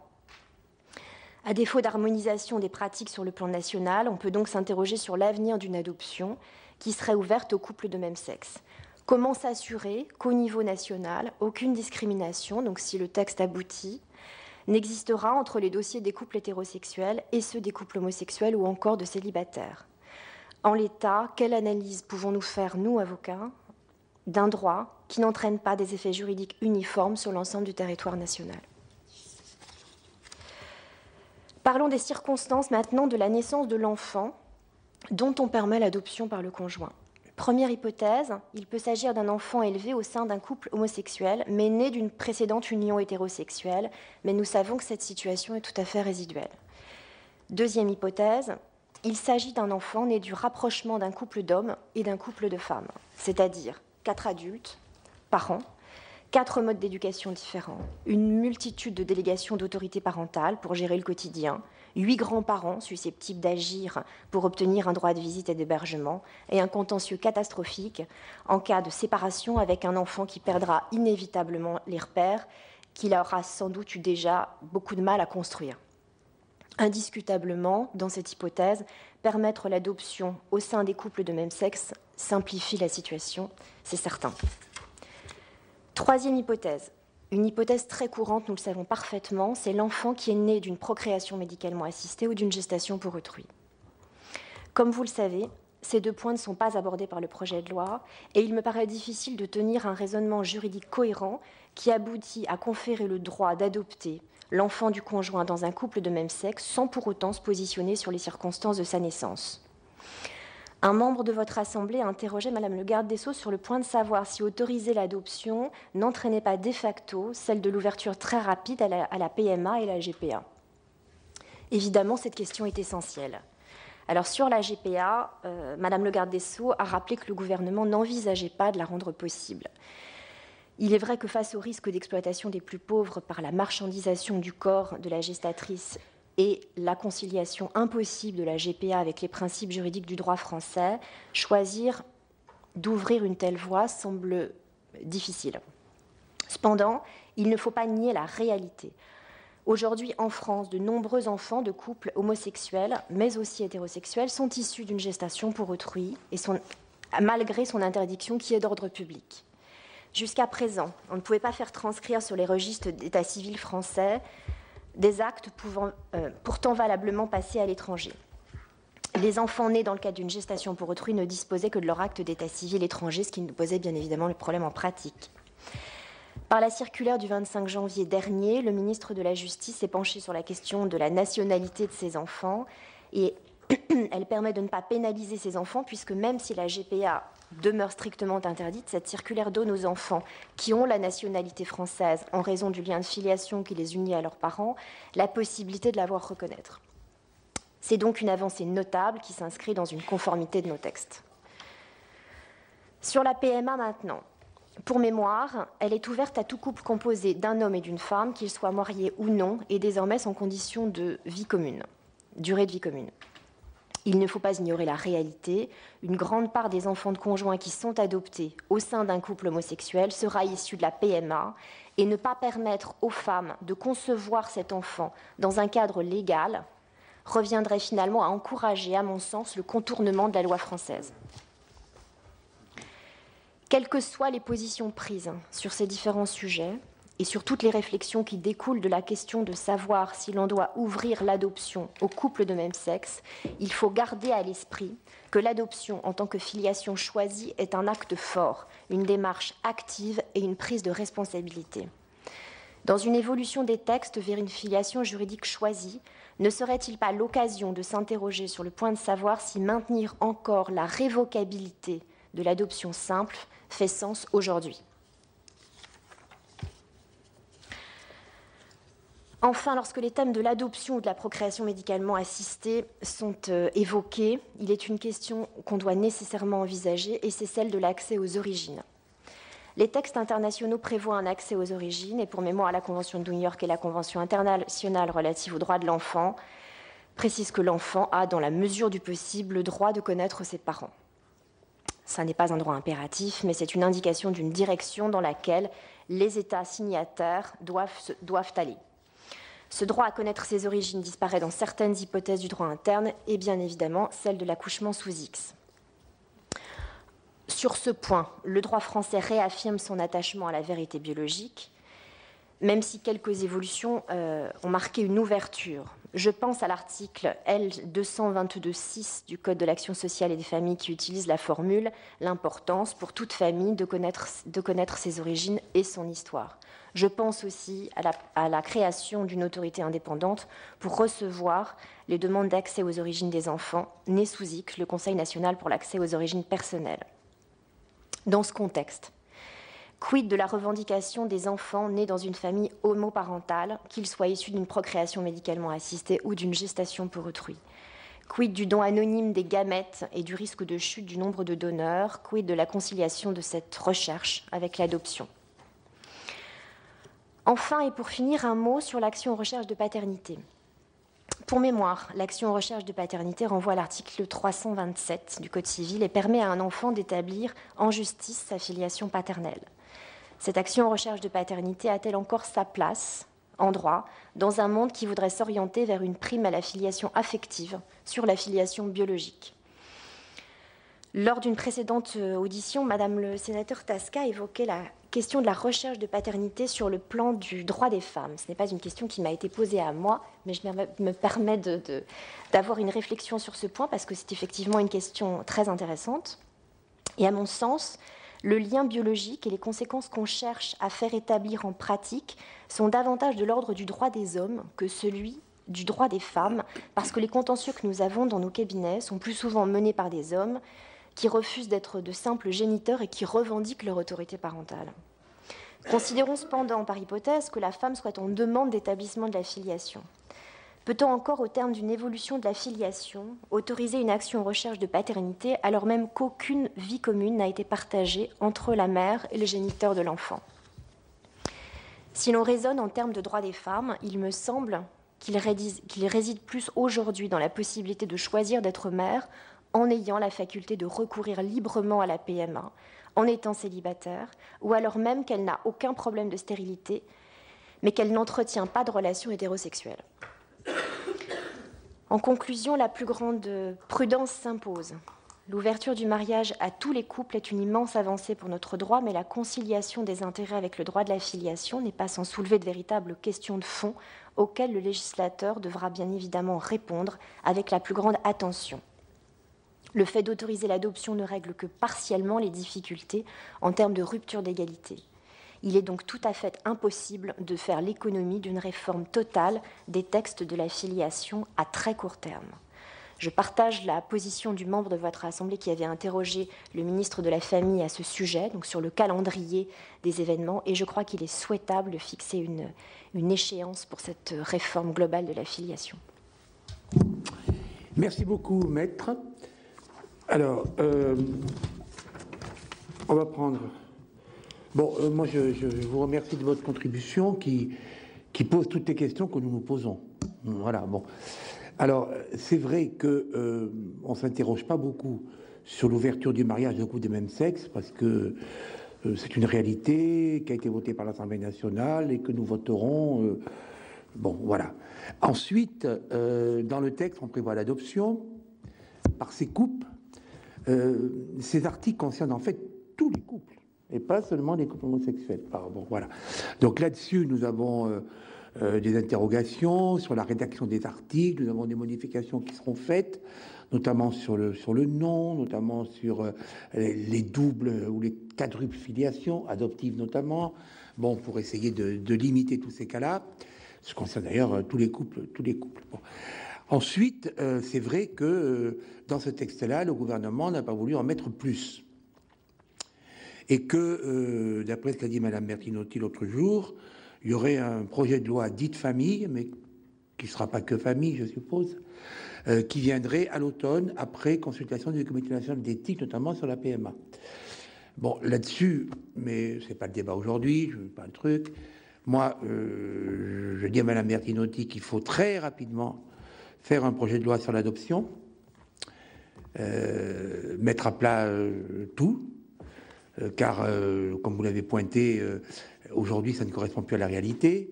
Notamment, on va le voir tout à l'heure avec l'accès aux origines. On n'adopte plus de bébés. Donc on ne peut plus dire, comme disent certains psychanalystes, que l'adoption c'est une nouvelle famille et qu'on coupe tout le reste, que tout le reste n'existe plus. C'est faux. On adopte de plus en plus d'enfants déjà euh, plus grands ou d'enfants étrangers qui, voient bien qu'ils ne sont pas issus de ce couple. Donc tout ça est à revoir. J'espère que le gouvernement le fera et que nous serons saisis peut-être en même temps ou avant euh, d'un projet de loi sur l'adoption. Pour le reste, euh, le gouvernement envisage, c'est vrai, après consultation du Conseil d'éthique et la PMA, il se refuse à envisager totalement la GPA. J'ai dit ce que j'en pensais, je ne dis pas autre chose aujourd'hui. Euh, voilà, donc euh, toutes ces interrogations, nous les avons bien sûr. Pour le reste, nous pensons que l'ouverture du mariage au couple homosexuel fait, comme l'a dit hier M. Baudis, fait mais, fin à un certain nombre de discriminations, ne serait-ce que des discriminations même euh, euh, indirectes ou collatérales. Voilà, et puis après, la réflexion s'imposera. Donc je vais demander à Mme Meunier si elle a des questions à vous poser. Monsieur Revet a la demande de la parole. Y a-t-il d'autres collègues qui veulent poser des questions? Car je fais masse du tout. Alors, Monsieur Revet pour l'instant. Mais après, il ne faut pas avoir de... Vous pouvez plutôt avoir des... Comment on dit ça? Vous pouvez dire non après, voilà. Mais si vous dites pas oui maintenant, vous direz pas oui après. Voilà. Donc, est-ce qu'il y a d'autres personnes qui demandent la parole? Madame Catherine Tasca. Et quand je la veux, je la demande. Ben, oui, mais pas après, parce qu'il faudra terminer à l'heure précise. Ah Donc vous l'aurez, et puis vous me direz non, si vous voulez. Non, non, je ne la demande pas. Ah, vous ne la demandez pas, d'accord. Bon, euh, Virginie Claes. Bon, on verra, hein, parce que là, ça va. Bon. Alors,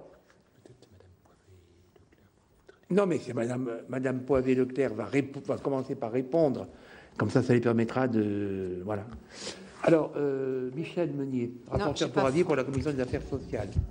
Merci, euh, Madame euh, de Benteux. Euh, moi, j'ai pas forcément de questions euh, à vous poser parce que vous avez euh, brossé, c'est vrai, l'ensemble des problématiques en, soulevant certains sujets donc qui vous paraissent parfois incohérents et que la loi devra d'une manière ou d'une autre répondre. Si ce n'est par cette loi-là, en tout cas, c'est sur celle à venir sur l'adoption et les filiations en général. Donc, moi, je voulais revenir, mais sans m'apesantir, sur le dernier aspect de votre propos, c'est-à-dire la recherche en paternité et c'est vrai que, n'oublions pas, 8% des naissances, ce n'est pas rien, 8% des naissances aujourd'hui en France euh, se font euh, sans père, entre guillemets, enfin, déclarés. Et euh, donc, est-ce du côté des droits des femmes ou du côté des droits des hommes? Toujours est-il que la question peut être discutée, mais j'en conviens pas ici et, pas en ce moment. Et moi, je redis que si on veut être responsable, aussi bien en tant qu'homme, ou en tant que femme sur les naissances que l'on choisit d'avoir, on a des moyens et peut-être là aussi on peut développer d'autres pratiques et politiques publiques euh, en matière de prévention. Oui, merci, euh, Monsieur le rapporteur, président. Euh, maître, merci de l'exposé que vous venez de, nous faire. on a compris qu'ayant été auditeur la semaine dernière, vous avez accès en fonction de ce que vous ressentiez des questions qui se posaient ici, et donc vous avez euh, orienté votre intervention sur les problèmes d'adoption, de filiation. Euh, bon, euh, je crois qu'à l'unanimité, je pense pouvoir le dire devant Monsieur le rapporteur qui l'a dit, nous pensons que ce problème de l'adoption doit être vu dans sa globalité. Monsieur le rapporteur disait que d'ailleurs, il eût fallu l'examiner avant même le texte sur le mariage, euh, ce qui eût été préférable, à plus forte raison les problèmes de PMA ou GPA, qui sont encore beaucoup plus complexes. Euh, moi, je, euh, monsieur, monsieur, quand pour expliquer, monsieur le rapporteur, vous avez dit bon, nous voterons le texte sur le mariage ou autre, je pense que vous incluez pas forcément l'ensemble des membres qui sont ici, parce qu'il peut y avoir. Je veux dire le rapporteur. C'est bien comme ça que je l'ai compris, monsieur le rapporteur. Alors maintenant, je reviendrai justement sur le mariage. Euh, parce que euh, tout à l'heure et juste avant vous, nous, nous auditionnons le notariat, le président du notariat, qui a eu cette phrase en commençant sur la nécessité de bien faire réfléchir les conséquences liées à la notion de mariage, s'il est étendu à tout le monde, en disant on n'est pas sûr, et je crois que c'est rarement d'ailleurs le cas, parce que quand les gens se marient ou autres, ce n'est pas leur première priorité. Hein. En général, c'est plutôt l'amour qui les, qui les réunit. Et, donc, ils ne pensent pas forcément aux conséquences euh, de ce qui découleront. Euh, et, c'est vrai, moi je l'ai dit tout à l'heure, pour euh, les, comment dirais-je, les jeunes ou moins jeunes qui se marient, c'est encore plus vrai pour le législateur qui, lui, vote un texte alors pour lequel il devrait analyser, pouvoir analyser avant toutes les conséquences de son vote. Ce qu'on fait entre nous assez rarement, euh, sauf des spécialistes. Hein, il n'y a pas de problème. Alors, euh, ma question concerne le, fait du mariage. Vous êtes amené sans doute à plaider, je suppose. J'interroge les deux, deux, avocats que nous avons la chance d'avoir. Vous êtes amené à plaider, euh, tout à la fois sans doute pour des divorces ou autres, pour des mariages euh, hétérosexuels aujourd'hui, ou pour des gens qui ont été paxés et qui souhaitent euh, en sortir. Quels sont les points, sans, vous révéler de secret, si vous voulez, qui ressortent euh, des conséquences soit du mariage lui-même, soit du Pax et de ce qui n'a pas été introduit par le Pax, dans le Pax à l'origine, et euh, ceux auxquels, finalement, quand on reçoit les gens, allez, soyons clairs, on fait de la politique, mais enfin, il y a l'idéologie d'un côté, et puis il y a la réalité. Euh, on sait très bien que euh, les personnes homosexuelles, ce qui compte, c'est ces aspects qui n'ont pas été pris en compte. Moi, j'ai reçu il y a peu de temps tout à la fois un gay et une lesbienne qui étaient ensemble depuis 20 ans, chacun de leur côté, qui avaient enfants ou procréés, en ayant l'étranger, ou euh, homosexuels qui ont adopté chacun de leur côté, puisqu'ils ne pouvaient pas. Euh, bon, et qui nous ont dit mais on voudrait quand même, on vit ensemble, on continue de vivre, on a acheté notre maison, on a associé cela, euh, et aujourd'hui, on est traité différemment. Alors qu'on a une vie, on considère, nous, qu'on a une vie normale. Et cette situation, elle n'est pas nouvelle, elle a existé depuis le temps, et donc c'est la responsabilité du législateur de la traiter. Mais vraiment, de la traiter en mesurant toutes les conséquences des choix que l'on fait. Alors, et à travers ce que vous avez pu plaider, est-ce que vous pouvez nous donner quelques indications par rapport à ça? Merci, Virginie Kless. Vous avez, euh, je vais dire à notre collègue Charles Revet, qui est très assidu ici, qu'il a sûrement entendu la dernière, je m'excuse, euh, la dernière remarque de Maître Combré. Donc les notaires ne sont pas des révolutionnaires, hein, je ne pense pas. Mmh. Ce qu'ils pensent vraiment, ne pas des révolutionnaires qui, nous a, qui vous a dit oui, on pourrait penser à un autre statut d'union civile pour les homosexuels, mais franchement, c'est pas du tout bon parce que ça en ferait quatre ou cinq et ça suffit comme ça. Donc je pense que vous, ça vous incitera peut-être à voter pour le mariage. Et vous ne les avez pas et, nous ne les avons pas pour 95% d'entre nous. Parce que dans, au Sénat, euh, on a des rapports très cordiaux pour euh, aller de l'avant. Bah, heureusement. Merci, Monsieur le Président. Je vous en prie. Euh, je, voudrais revenir sur, euh, sur une phrase que, que, vous avez prononcée, alors que j'ai peut-être mal comprise, ou qui, en tout cas, à mon sens, pourrait être explicitée un peu mieux. Vous avez dit que ne pas légaliser en matière de certaines pratiques de PMA reviendrait à encourager le détournement de, de la loi ça me surprend un petit peu euh, que de dire ne pas légaliser revient à encourager le détournement. Enfin, euh, est-ce que c'est vraiment ce que vous vouliez dire ou est-ce que c'est plutôt ne pas légiférer? Parce que particulièrement en pratique de PMA, euh, comme d'adoption d'ailleurs, on, est confronté quand même à, des droits ou des, intérêts peut-être parfois un peu, contraires ou un peu contradictoires.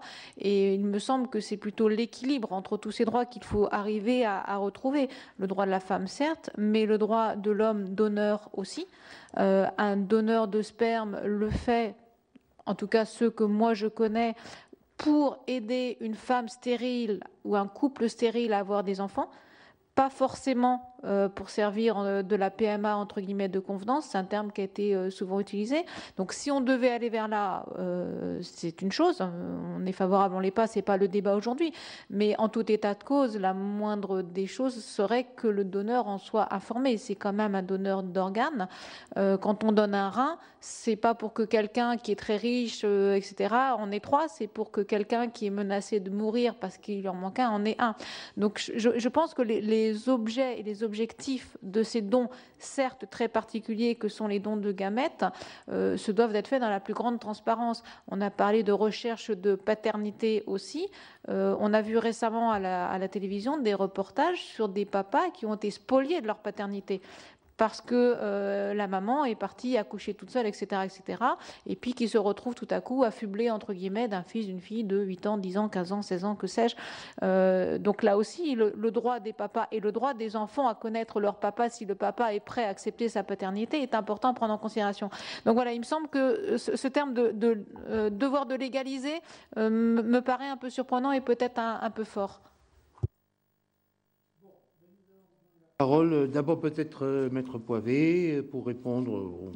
voilà. Et puis, bien sûr prendre la parole. Nous avons encore presque une demi-heure. Merci, Monsieur. pour ce qui me concerne, je, voudrais faire une remarque en ce qui concerne la, PMA. je crois que nous ne devrions pas avoir à légiférer. La PMA devrait être d'entrée de jeu ouverte à tous les couples mariés. Car si elle n'est ouverte qu'aux couples mariés hétérosexuels, on va tomber sous le coup de la CEDH, qui va considérer que nous faisons euh, un statut différent aux gens mariés selon qu'ils sont hétérosexuels ou homosexuels. La CEDH, euh, dans euh, l'article 8 ni l'article 14, ne permettent de condamner un État qui refuserait un mariage homosexuel. En revanche, nous serons condamnés, la France sera condamnée, si elle n'aligne pas le droit de ces couples sans tenir compte du fait qu'ils sont seulement mariés. Hein. je me permets d'attirer l'attention euh, de tout le monde sur un arrêt de la CEDH qui s'appelle Gas et Dubois du 15 mars 2012 euh, que j'ai apporté, que je vous laisserai si vous voulez. Euh, je pense que c'est une question intéressante, ce qui fait qu'en réalité, l'ouverture de la PMA, elle est une conséquence nécessaire de, euh, du mariage euh, pour tous. Voilà. Euh, ça, c'est un, point qui me paraît important. Deuxième point important. Pardon Qui veut dire qu'il faut, faut dire que c'est médical. Mais oui, c'est ça. C'est, de toute façon, c'est nécessairement. Sinon, on va avoir un statut de. On va être discriminant par rapport aux couples qui sont homosexuels.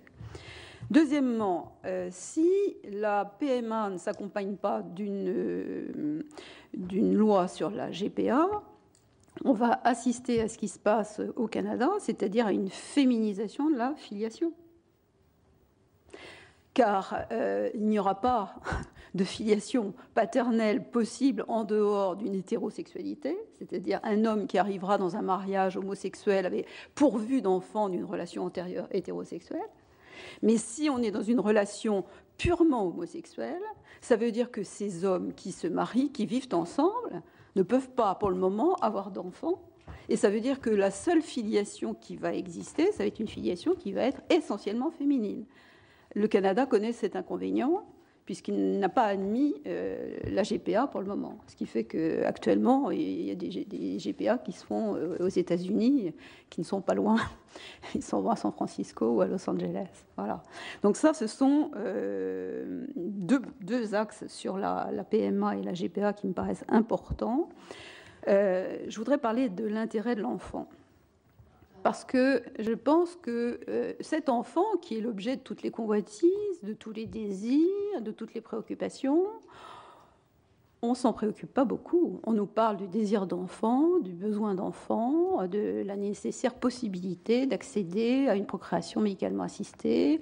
Euh, la stérilité, c'est quelque chose d'impossible. C'est comme une, euh, une forme de cécité euh, reproductive que plus personne n'admet. Moi, je veux bien, mais l'intérêt de l'enfant, quand on me parle de l'intérêt supérieur de l'enfant, je m'aperçois que c'est une espèce de fourre-tout qui euh, comprend en réalité tout ce qu'on a envie d'y mettre, mais rien qui ne soit vraiment dans la ligne de l'intérêt spécifique et exclusif de l'enfant. Je m'explique. Lorsque une femme, et je reviens sur le problème des recherches de paternité, lorsqu'une femme euh, est enceinte, euh, d'abord, le père sera père quand la mère le décide, que ce soit dans le mariage ou hors mariage. Parce que nous savons tous que les systèmes de contraception sont occultes. Donc le mari peut ne pas savoir si sa femme prend une contraception, quelle qu'elle soit. Deuxièmement, l'avortement, euh, on n'a pas besoin des deux pour le décider. Ce qui veut dire que l'interruption de grossesse, c'est un acte unilatéralement décidé par la mère l'enfant euh, qui va naître donc du désir unilatéral d'une femme, parce que c'est de plus en plus comme ça, est un enfant pour lequel on va pouvoir agir en recherche de paternité. Et quand on agit en recherche de paternité, on agit toujours au nom de l'intérêt de l'enfant. Et depuis, euh, je n'ose pas dire combien d'années, mais euh, quelques 25 années au moins, si ce ne sont 30, je me bats pour faire reconnaître un principe de responsabilité quasi délictuelle pour avoir un euro symbolique, parce que j'estime qu'en 2013, et quelques années avant, d'ailleurs depuis 1967 ou 8, euh, où la contraception s'est répandue, on ne peut pas être enceinte malgré soi, ou en tout cas le demeurer malgré soi. Donc, au nom de l'intérêt supérieur de l'enfant, je suis régulièrement déboutée de mes demandes de dommages-intérêts parce qu'on me dit que l'enfant a besoin d'avoir un père, il a besoin d'avoir une filiation, il a besoin d'avoir un accès à ses origines. Peut-on soutenir dans la main droite des conclusions au nom de l'intérêt supérieur de l'enfant ainsi, et dans la main gauche avoir des adoptions plénières qui sont un mensonge juridique et judiciaire et qui procèdent à une éradication légale de tout accès aux origines. C'est vraiment une question qui est tellement choquante. Ça veut dire quoi? Ça veut dire que là, maintenant, on va voir des mariages homosexuels où il y a forcément un mensonge quelque part ou un silence gardé quelque part. Un mensonge, euh, si euh, on ne veut pas dire, ou un silence gardé, ça revient au même. Ça veut dire que ceux qui auront 30 ans dans 30 ans et qui seront nés dans ces conditions-là, est-ce que quelqu'un ici peut dire ce qui sera son trouble dans cette inaccessibilité à ses origines? Je crois que personne ne peut le dire. Personne ne peut dire si ça sera un trouble ou pas un trouble, si ça sera un droit, une revendication, Personne ne peut le dire. Je crois que là, nous, sommes en train de construire une espèce de monstruosité et que ce qu'il faut vraiment réformer, c'est la filiation. On est dans une société qui prône la transparence. C'est une société qui ne permet plus le mensonge parce que effectivement, les tests génétiques nous établissent les paternités, euh, les liens de filiation 99,99% de sécurité, de certitude. Si on est dans un système comme celui-là et si on est transparent, il faut bouleverser la filiation et dire qu'on va faire coexister pacifiquement, parce que la loi va le penser, une filiation qui sera une filiation biologique, qui sera ou qui ne sera pas pourvu de conséquences selon que l'auteur biologique aura décidé d'assumer cette filiation ou de ne pas l'assumer, de la répudier, et on aura parallèlement une filiation élective qui sera celle de l'adoption simple ou de l'adoption simple. J'espère, pour ma part, que l'adoption plénière disparaîtra, parce que dans ma clientèle, vous posiez la question de ce que nous voyons dans notre clientèle. Donc, dans ma clientèle, ça fait 32 ans que je suis avocat et j'ai été 8 ans clerc de notaire, donc ça fait 40 ans de bons et loyaux services aux droits de la famille. Ce que j'ai vu, surtout, ce sont des adultes qui sont dans un état de détresse absolue parce qu'ils n'ont pas accès à leurs origines et que quand vous voulez faire un changement de régime matrimonial, euh, qui est soumis à une homologation judiciaire parce qu'il y a encore un enfant mineur ou autre, si cet enfant est un enfant qui a été adopté en la forme de l'adoption plénière, moi, avocat, je ne peux pas obtenir la copie intégrale de son acte de naissance. Je ne peux avoir que des extraits d'acte de naissance. Je suis obligée régulièrement d'avoir accès à la chancellerie pour me faire délivrer une pièce que le tribunal exige. Pourquoi? Parce qu'effectivement, il y a la mention sur l'origine du certificat, l'acte de naissance d'origine, il y a l'histoire, la, véritable histoire de cet enfant. Donc, je crois que là, ce mensonge juridique et judiciaire n'est plus possible en 2013. Il faut vraiment repenser la filiation. Je crois que c'est pas si compliqué que de dire il y a une filiation biologique, elle est là, il y a une filiation élective, c'est un choix. Euh, elle sera, cette filiation élective, irréversible. Euh, et on fait une adoption euh, simple, qui sera une adoption simple sans réversibilité possible. Et on aura la vérité, la transparence. Si un jour l'enfant veut aller voir son géniteur ou sa génitrice biologique, mais il ira. Mais il faut quand même arrêter de reproduire et de faire reproduire pour satisfaire le besoin des adultes sans avoir en aucune façon considération des besoins des enfants. Alors, quant aux conséquences des divorces et des ruptures, pour répondre à votre question, monsieur, ce que nous voyons évidemment, c'est que les humains sont extraordinaires. De la même façon que quand ils se marient sous le régime de la séparation de biens, la première chose qu'ils font, c'est l'ouverture d'un compte joint et un achat en indivision que quand ils se marient sous le régime de la communauté, ils vont vite chacun mettre les cadeaux de leurs grands-parents sur des livrets de caisse d'épargne. Ils sont très surpris de savoir que l'autre va avoir, s'il garde pas des traces extraordinaires, euh, droit à la moitié. Euh, de la même façon, je vois dans ma clientèle des concubines euh, qui sont restées 20 ans avec leur partenaire et qui viennent me dire, mais enfin je comprends pas, euh, on a habité dans mon appartement, c'était mon bien, euh, j'ai acheté la nourriture tous les jours et là maintenant, euh, mon partenaire a décidé de partir et j'ai droit à rien. Ah non, parce que vous êtes en dehors de la loi et que vous êtes en concubinage, vous n'êtes pas dans un mariage. Oui, mais enfin, quand même, ça fait 20 ans. Ça fait 20 ans, ça pourrait en faire 50, c'est ainsi. Alors, on a exactement dans ces conséquences-là euh, la même euh, anarchie intellectuelle que pour euh, les régimes matrimoniaux, à savoir que les gens se mettent dans des systèmes de concubinage ou de pax à raison de la facilité consubstantielle de ces modes de conjugalité pour en sortir, sans procédure, sans, sommation respectueuse préalable, mais au moment où il faut mesurer et supporter les conséquences de la rupture, là, plus personne n'est d'accord et tout le monde en appelle au mariage et à ces conséquences qui sont quand même un peu protectrices. C'est-à-dire qu'on veut des droits et on veut aucune obligation. Donc je crois que là, il y a aussi, puisqu'on est en train de, d'ouvrir le mariage à tous, qui est effectivement une avancée sociale, euh, aussi l'information à tous. Et je crois que l'information, c'est pas dans les cinq minutes qui célèbrent la, célébration du mariage. Euh, l'information, elle passe par l'éducation. C'est dans les sciences de la vie ou dans les sciences sociales, avant le baccalauréat, qu'il faut quand même dire aux gens que quand on se marie, ça veut dire qu'on va avoir des droits et des devoirs. Et ces devoirs, ils vont perdurer sous une forme ou une autre au moment d'une rupture. On ne prépare pas les gens au mariage en leur disant l'article 212 et l'article 215 le jour de la célébration. Ils n'en ont cure. Ça leur est complètement indifférent. Et les régimes matrimoniaux, c'est la même chose. je pense que toutes ces personnes qui veulent se marier maintenant et qui sont euh, des euh, personnes homosexuelles, je crois que c'est très important de leur faire mesurer. Je l'ai fait récemment à un, jeune homme qui voulait euh, se marier. En l'espèce, c'était un jeune Français qui voulait se marier en Espagne avec son compagnon. Je lui dit attention, vous vous connaissez peu, il faut quand même savoir qu'en cas de rupture, il faudra peut-être payer une pension alimentaire.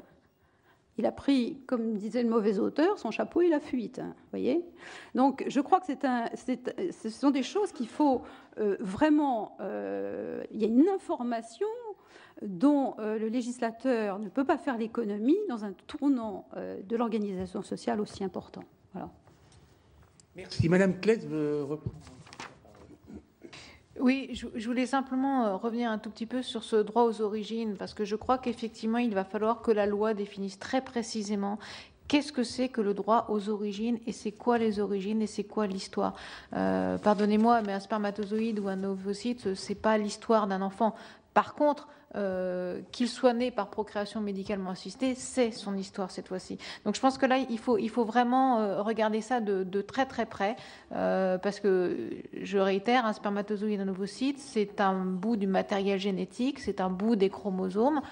certes, ce sont des caractères physiques, médicaux et tout ce que l'on voudra, certes, mais même sur les caractères physiques, c'est pas entièrement suffisant pour déterminer quelqu'un. L'environnement, etc., joue énormément. Donc pour moi, que, toute personne ait accès euh, aux caractéristiques physiques, médicales, etc., de ses deux parents, pas seulement du père, de ses deux parents, parce qu'il y aura aussi avec la PMA des dons d'ovocytes, euh, c'est une chose et c'est inaliénable. Mais je crois vraiment qu'il faut que la loi le définisse très précisément. C'est ce que je voulais dire un peu tout à l'heure quand je disais attention aussi euh, au, droit entre guillemets du donneur. Il faut que l'on sache quelles informations seront, devront être données à l'enfant qui effectivement doit rester vraiment au centre de nos préoccupations. Et je pense que s'il y a bien quelque chose de dangereux que l'on est en train de faire en ce moment, et là c'est la scientifique, euh, ex-scientifique euh, qui parle, ce sont les manipulations de gamètes, je dis bien les manipulations de gamètes que l'on fait en amont euh, des fécondations in vitro. Ça c'est extrêmement dangereux sur un plan scientifique. Là on ne sait pas du tout où l'on va, et là je pense qu'il faut être très prudent. Par contre sur les origines, je pense que la loi peut sans aucun problème, sereinement, bien fixer les choses et bien fixer le cadre dans l'intérêt supérieur de l'enfant. Euh, pardon, mais, je pense qu'on. Je, crois que c'est un peu réducteur de considérer un spermatozoïde et euh, un ovule comme du matériel génétique.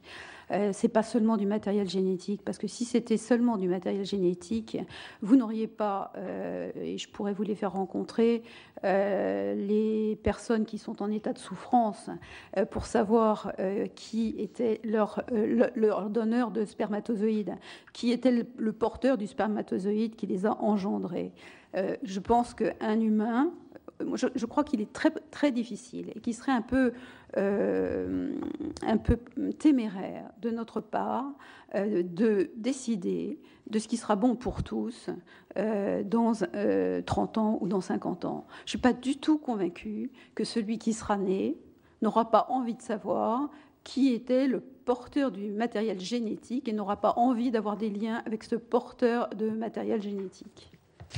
Les psychanalystes, euh, les psychanalystes qu'on a écoutés sur le sujet nous disent que généralement ces demandes, quand elles deviennent pathologiques, sont liées à des problèmes présents et non pas forcément des problèmes passés. Donc je pense que c'est sur ce que vous appeliez le mensonge tout à l'heure, et là je vous, je vous suis, euh, sur ce mensonge de euh, l'origine de la naissance qui a sans doute des choses à voir. Mais bon. Sur ce point, Madame Kess et Virginie, on va entendre tout à l'heure le, président Tugnaop on pourra poser toutes les questions, mais je crois qu'on est assez d'accord ici, en tout cas moi c'est mon point de vue, pour dire que quel que soit le mode euh, d'engendrement d'un enfant, cet enfant doit pouvoir connaître son histoire. Voilà. Alors ensuite, ensuite, euh, bon, je vais donner la parole à Maître euh, Denoy, encore un moment. Ensuite, Maître, Leclerc, au Poivet, je sais pas que je vois qu'il n'y a que des doubles noms, donc c'est très bien, comme dans la loi. Voilà. Donc, euh, oui, euh, nous avons euh, entendu ici des professeurs de droit. Alors, je ne parlerai pas de celui ou ceux qui étaient favorables au texte. J'étais assez impressionné, parce que je le connaissais depuis 15 ans, par le témoignage du professeur Rosaire, qui était professeur à Bordeaux, qui au moment du Pax militait plutôt pour une union civile, etc et qui maintenant nous dit euh, les pouvoirs publics doivent avoir le courage, exactement ce que vous avez dit, d'établir un texte qui reconnaisse les deux lignes de filiation. Voilà. Pour tous les couples ou pour les femmes seules. Une filiation biologique, bon voilà, et puis une filiation euh, volontaire, sociale, vous avez employé un autre adjectif. Moi j'ai dit élective. Vous avez dit élective, voilà, et qu'on qu'on sache très bien où on va. Et euh, alors, bon, ici tout le monde n'est pas d'accord, loin de là. Euh, loin de là, même euh, parmi euh, les socialistes. Mais même Ozer nous dit, vous devrez aborder toutes les façons. Et encore, comme vous les aurez abordées dans la loi, il est possible que dans 10 ou 20 ans, il y en ait encore d'autres. Voilà. Donc, on en est là. Voilà. Alors, c'est peut-être un gouffre pour certains, mais moi, je suis heureux de vous entendre par rapport à votre clientèle, enfin, aux, faits concrets que vous connaissez, etc. Voilà. Enfin bon, après, hein, c'est un autre débat. Euh, peut-être que Madame Denoy veut ajouter quelque chose. Mais écoutez, pas forcément. Ce qu'a dit Hélène Poivet-Leclerc a, balayé un peu l'ensemble des sujets, mais c'est vrai que, encore une fois, on est tous très demandeurs d'une réforme de la filiation, et c'est vrai que je, on est très nombreux à partager ce point sur la question de la révocabilité de l'adoption aujourd'hui, qui, est devenue complètement hors de propos. Oui, et, aussi de l'adoption plénière qui, telle qu'elle est aujourd'hui, ne répond pas euh, à ce qu'elle est vraiment. Voilà, et ça, tout le monde le sait. Parce que l'adoption plénière, elle a été faite à un moment où on a adopté des bébés, euh, des bébés, euh, des bébés blancs pour les blancs, euh, voilà, et qu'aujourd'hui, on voit bien qui on peut adopter. Hein. Alors, si on a la chance, dans un département où il y a quelques quelques enfants à la, à l'ASE qui sont adoptables, on peut avoir cette chance. Sinon, on va à l'étranger. Alors là, on ramène un petit garçon, une petite fille, euh, quelquefois même un adolescent, euh, qui forcément, je sais pas si on nous a dit l'autre jour, mais il comprend pas. Je pense que si, je pense qu'il comprend. Il comprend qu'il n'est pas pareil que ses parents, quand même, non? Je sais pas moi, s'il vient du Vietnam ou de, euh, du Mali ou du Brésil ou du, Bon, voilà, donc ça ça correspond plus à la réalité, quoi, voilà. Et j'ai été très impressionné par un psychanalyste, dont je ne citerai pas le nom ici, euh, qui lui est toujours accroché à euh, l'adoption plénière telle qu'elle est, et qui nous dit euh, l'adoption plénière, c'est la rupture totale avec la famille d'origine. L'enfant rentre dans le lit de ses parents par le haut, il en ressort par le fond, c'est fini, il est l'enfant de cette famille. Bon, enfin, j'ajoute, j'ajoute pas. Bon. Est-ce que vous avez quelque chose à ajouter, mesdames? Maître?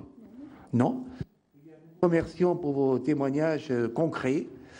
Et euh, passer, euh, s'ils sont arrivés, ou il y a encore 2-3 minutes, ça permettra à certains de se dégourdir les gens au Conseil national des actions aujourd'hui. Mes chers collègues, si vous voulez bien reprendre place. Donc, euh, nous avons aujourd'hui notre troisième séquence avec euh, le Conseil national d'accès aux origines personnelles. Je remercie son président, M. Nut, que tout le monde connaît, et le secrétaire général, M. Chabrol, de bien vouloir venir. Nous avons encore à l'instant évoqué ce problème des origines, euh, qui est posé par ce texte, enfin, qui sera encore plus posé par un texte euh, sur la famille ou sur l'adoption, mais qui tout de même euh, euh, est, quand même posé dans ce texte, notamment en ce qui concerne l'adoption plénière par les couples de même sexe. Voilà. Donc je vais vous donner la parole pendant. enfin, on a une heure en tout. Voilà. Pour répondre après des questions.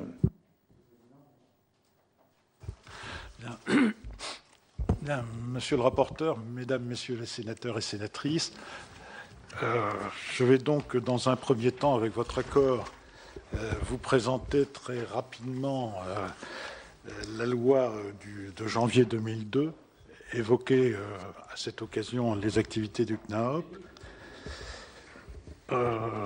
et ensuite, on évoquera un certain nombre de points particuliers et on répondra à vos questions, bien entendu, monsieur le rapporteur. Alors, je dirais que ce texte du 22 janvier 2002 c'est un texte qui a, disons, des, qualités incontestables. C'est un texte qui a remis, si vous voulez, en cohérence un certain nombre de dispositifs épars. Et c'est manifestement un texte de progrès. On rappellera que ce texte avait été voté à l'unanimité par les deux chambres.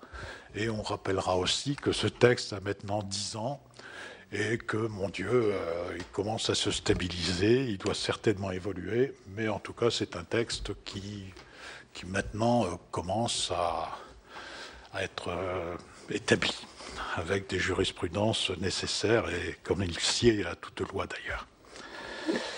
Je dirais que on rappellera aussi utilement que le Sénat, en 2007, avait introduit euh, une disposition euh, qui consistait à dire que l'accès aux origines pouvait, bien entendu, était ouvert, bien entendu, dès l'instant où l'enfant avait, ou l'adulte maintenant, euh, l'adulte avait atteint ses 18 ans, mais également la possibilité de descendre en dessous de cette limite lorsque l'enfant avait le discernement nécessaire. Donc ça, c'était une disposition qui n'a certes pas encore euh, eu de disposition, j'allais dire, opérationnelle, mais qui a quand même lancé, à mon avis, euh, un, signal et que nous retrouverons certainement dans le débat sur la recherche des origines, sur le sujet qui nous préoccupe ce matin. Euh, pour faire simple, cette loi, c'est deux parties. Première partie, c'est le droit à accoucher dans le secret. On appelle ça plus communément l'accouchement sous X. Deuxième partie, c'est l'accès aux ses origines, c'est-à-dire la possibilité pour ces personnes qui sont nées sous X de pouvoir un jour à 18 ans en principe, ou à partir de 18 ans, accéder à ses origines. Le CNAOP, cette, dans ce dispositif législatif, a notamment, pour objet, c'est la loi qui l'indique, de faciliter, l'accès à ses origines personnelles. On va donner tout de suite deux, trois chiffres. On ne va pas vous abreuver de statistiques parce qu'on les oublie tout de suite. Hein. Euh, on a à peu près, pas à peu près, 600, hein, 600 enfants qui naissent, euh, qui naissent sous le secret dans notre pays. C'est un chiffre qui est constant, hein, qui est constant par an, constant. On, ce chiffre a très sensiblement diminué pour des raisons d'évidence, et notamment après les lois Veil, où euh, l'avortement a permis, j'allais dire, de régler un certain nombre de situations. Donc 600 enfants, et depuis que le CNAOP existe, on a eu 7000 demandes, 7000 demandes d'accès aux origines. 7000 demandes utiles. Autrement dit, je veux dire par là que certains administrés nous, écrivent en disant euh, Je me suis euh, brouillé avec ma mère il y a 20 ans, euh, j'aimerais bien la retrouver, pouvez-vous m'aider? Donc, ce sont des demandes qui ne sont pas négligeables. Il hein. faut bien voir que les gens nous écrivent pour des tas de choses, ou bien ma mère ne trouve plus l'adresse de mon père, pourriez-vous. Voilà. Donc là, ce sont des demandes auxquelles on répond, bien sûr, mais qui n'entrent pas dans le champ. Alors, on va maintenant décomposer en deux parties. D'une part, l'accouchement sous le secret, c'est d'abord une décision de la mère de naissance, c'est une décision qui lui appartient, c'est une décision qu'elle n'a pas à justifier. Autrement dit, la personne se présente à la maternité, elle peut y venir avant, enfin tout ce que l'on veut, elle n'a pas à décliner son identité, elle n'a pas à décliner son identité, elle n'a pas à évoquer les conditions qui l'ont amené à prendre cette décision.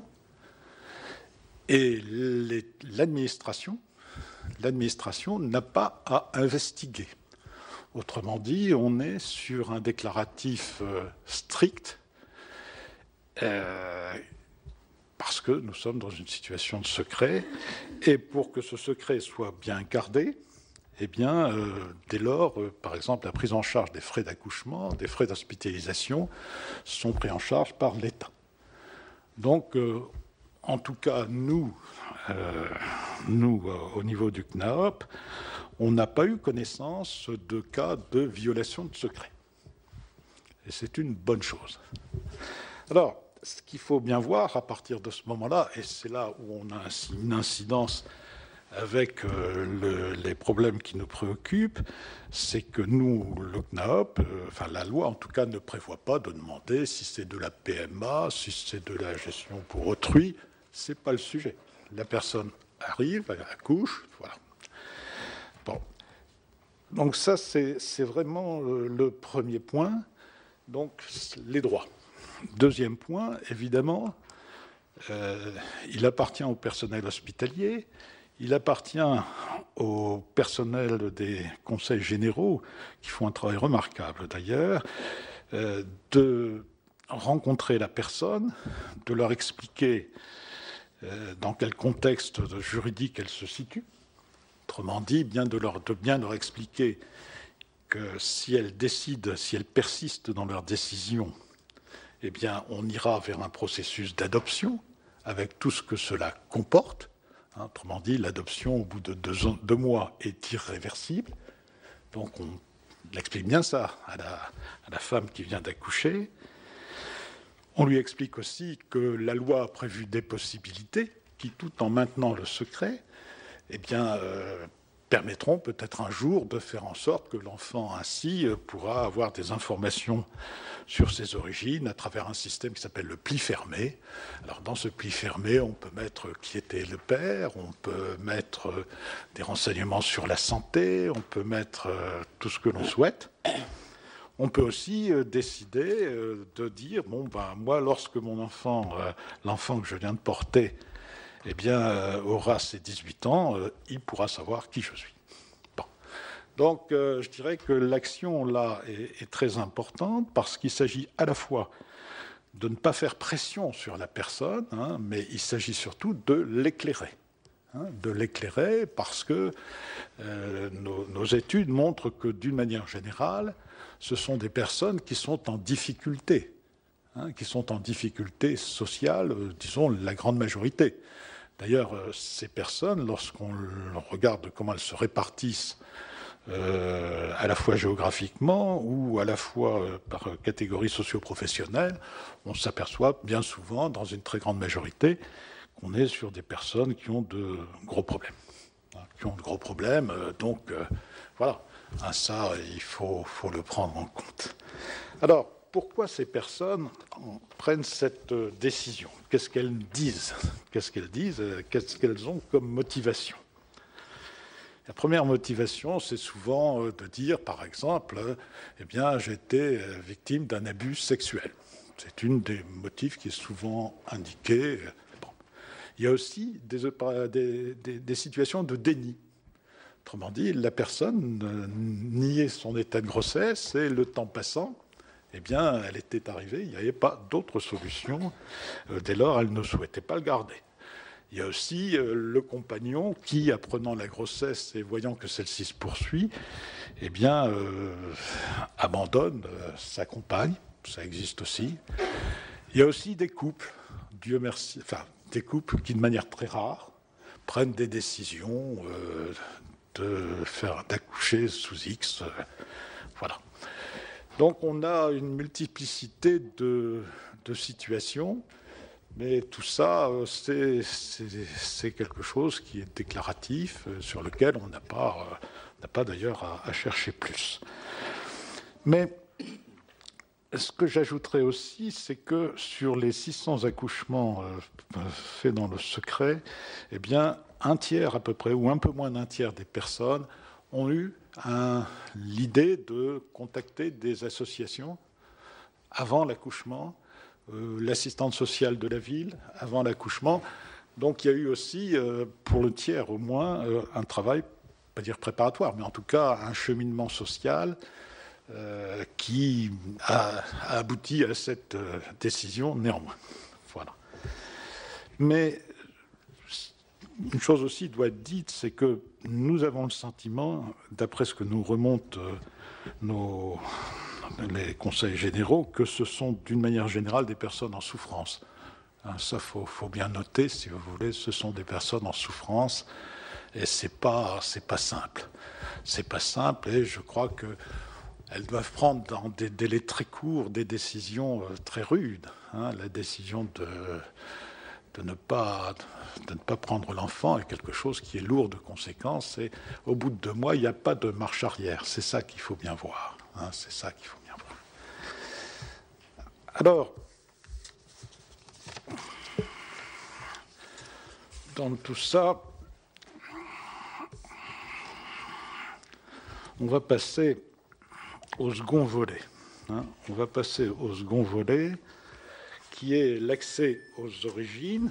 Autrement dit, c'est la possibilité pour la personne qu'il souhaite eh bien, de, de pouvoir euh, essayer de retrouver, de retrouver, disons, les coordonnées de sa mère de naissance. Hein. Alors pourquoi nous disons mère de naissance? C'est parce que c'est par opposition à la mère qui a adopté l'enfant.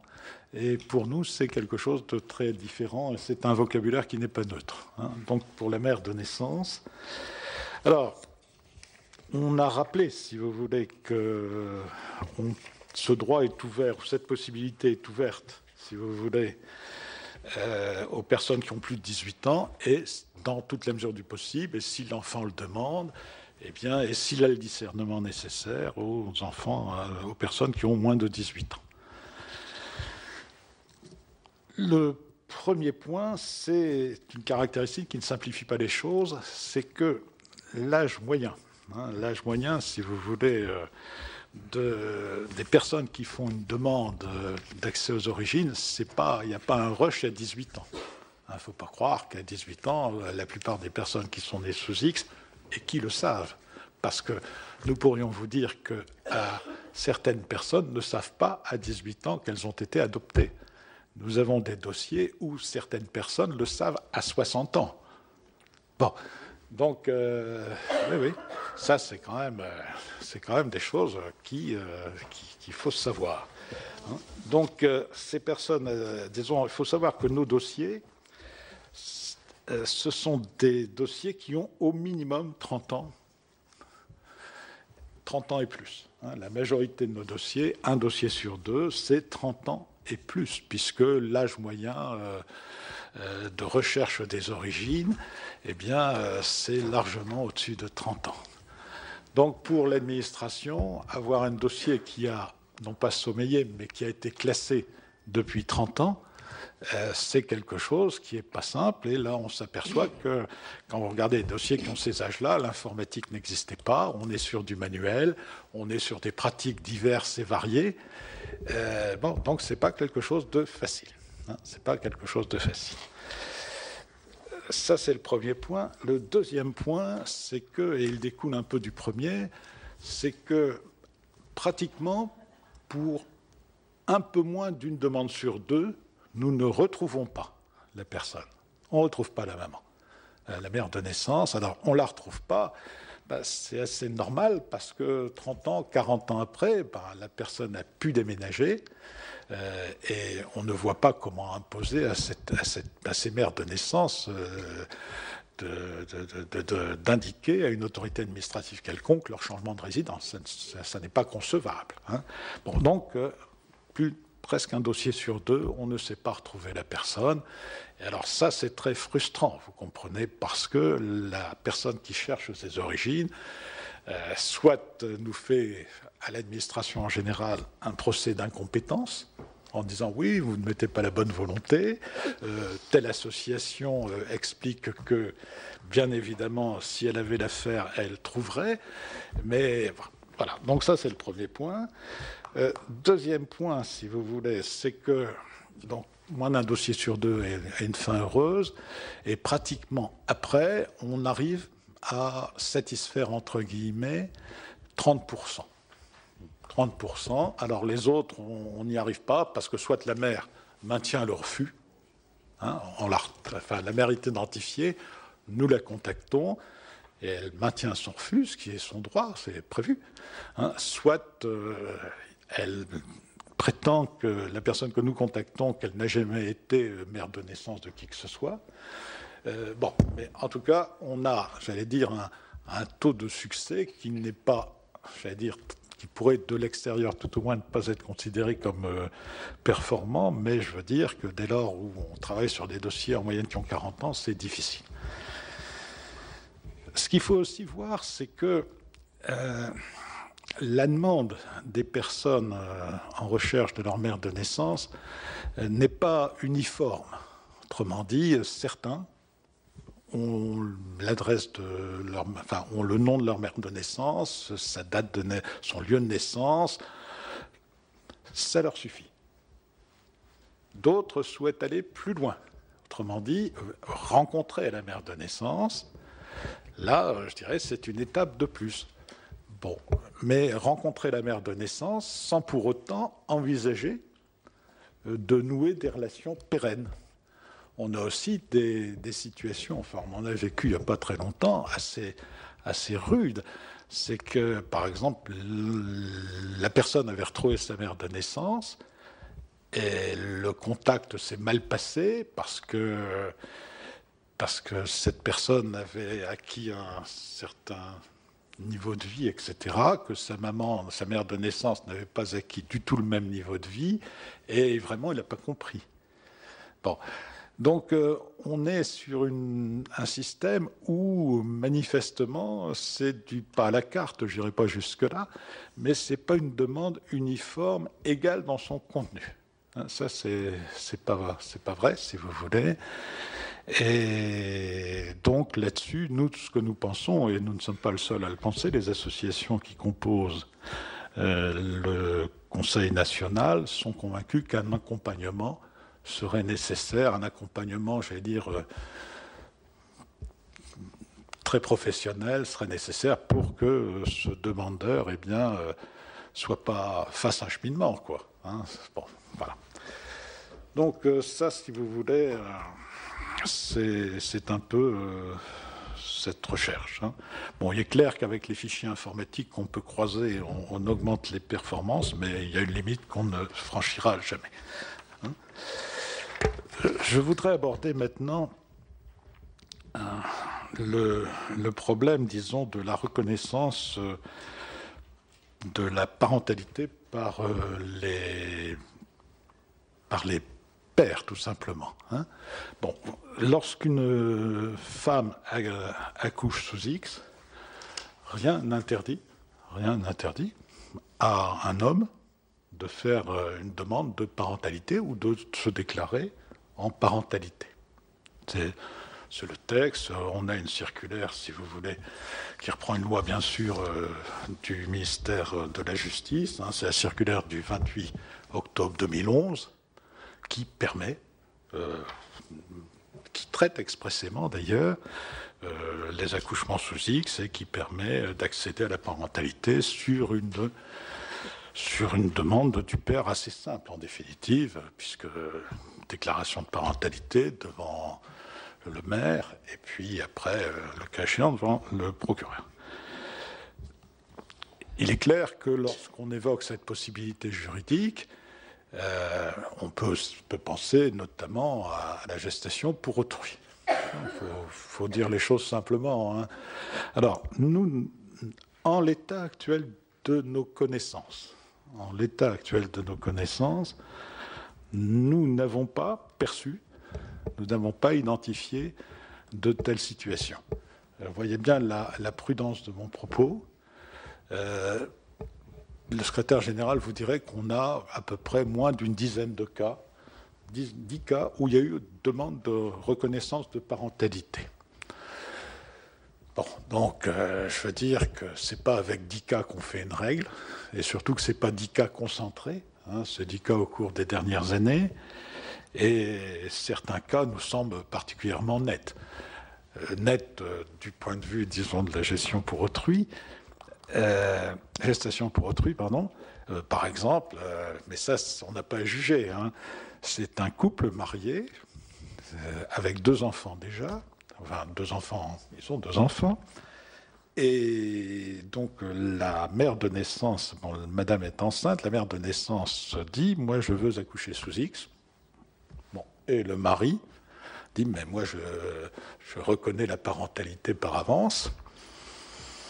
Et après, cette dame ajoute que nous sommes dans, une, euh, dans un département euh, petite taille, ajoute qu'elle ne veut pas accoucher dans ce département.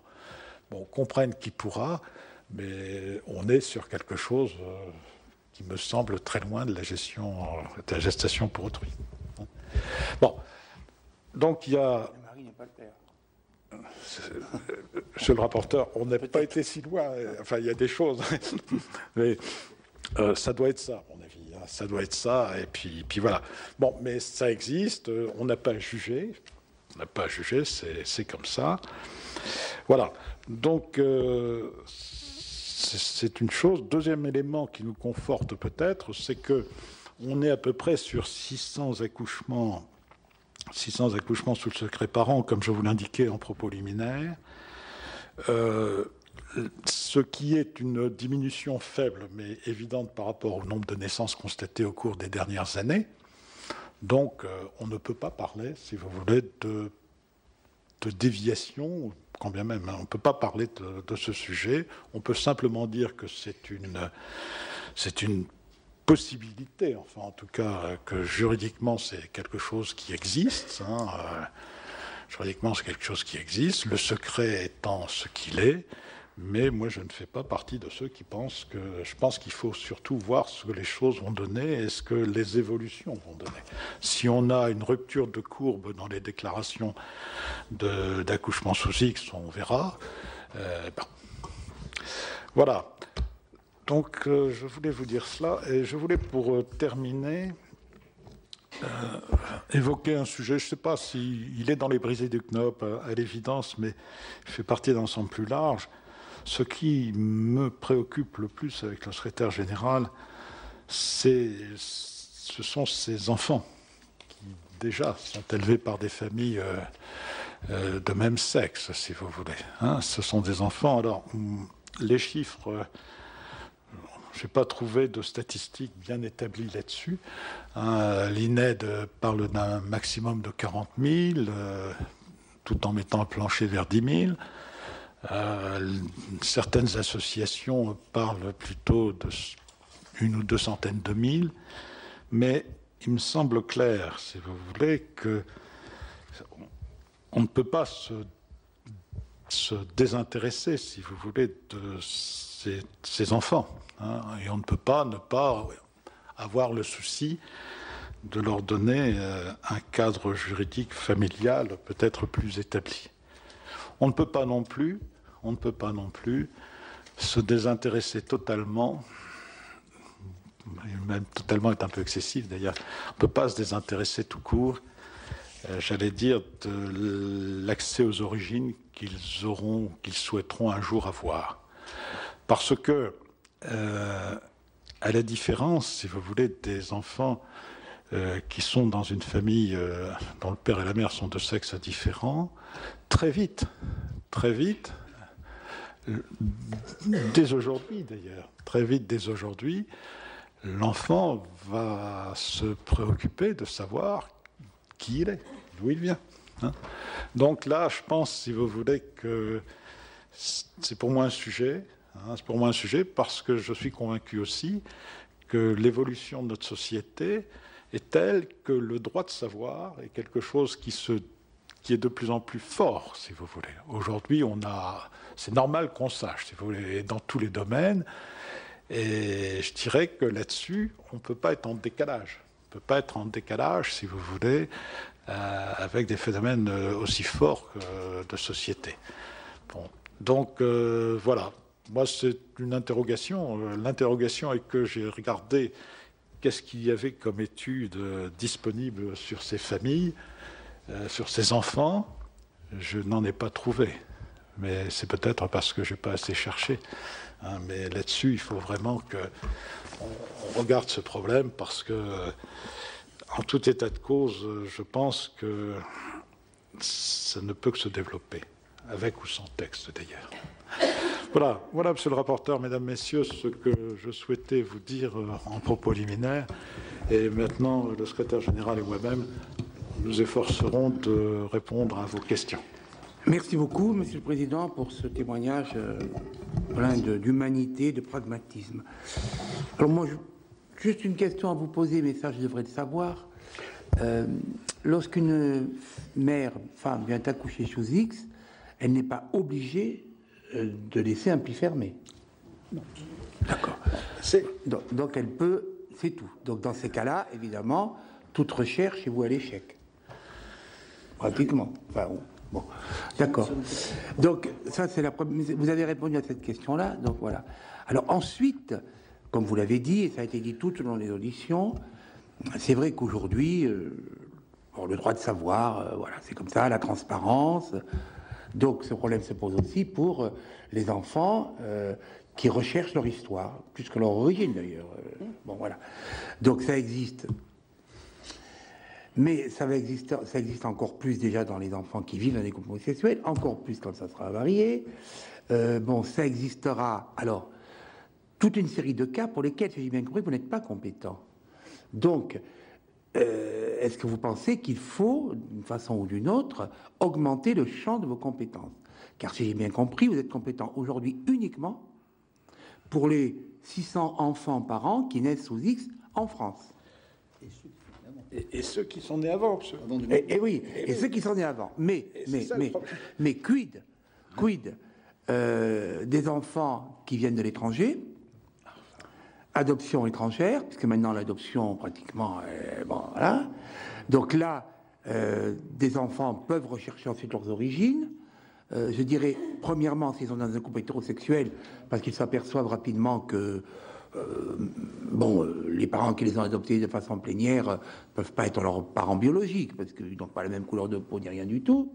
Quand en plus ça sera un couple de même sexe, ça fera une double interrogation, je suppose. Euh, voilà, donc ces questions nous ont été posées ici, très largement. Et euh, certains ont même évoqué, je ne sais plus, c'était les associations, je crois, en disant, mais le CNAOP doit pouvoir avoir ses compétences élargies euh, et doit pouvoir répondre à toutes ces interrogations. Voilà, bon. Mais je vais, on va faire un tour général, comme ça vous pourrez répondre, non? Je vais peut-être répondre tout de suite à ça, et si Chevreul complétera. Ce qu'on peut dire, sur le rapporteur, c'est que euh, à mon avis, tout ce qui est recherche des origines, tenue d'informations, si vous voulez, qui permettent d'accéder à ces origines, est quelque chose qui ressort du domaine de l'État. Autrement dit, c'est vraiment, euh, je ne vais pas dire du domaine régalien, c'est un, peu fort, mais en tout cas, on ne voit pas, si vous voulez, euh, confier ça à une association, c'est trop compliqué. Bon. Alors après, moi, vous savez, je ne suis pas attrape-tout, comme on dit. Hein. Je veux dire que bon, le CNAOP a, acquis une certaine expérience, je l'ai dit en, propos introductif. L'organe de, conseil, du Conseil national, de par sa composition, euh, permet, si vous voulez, des débats, permet de rassembler. Donc s'il faut étendre les compétences du CNAOP, pourquoi pas mais je veux dire qu'il faut qu'il y ait du fond derrière. Et voilà. Hein. Mais après, euh, moi, je, nous serions prêts à tout ce que, tout ce qu'il faudrait faire. Mais je rappellerai, monsieur le rapporteur, que c'est le domaine de la loi. Ah, tout à fait. Hein. Donc voilà.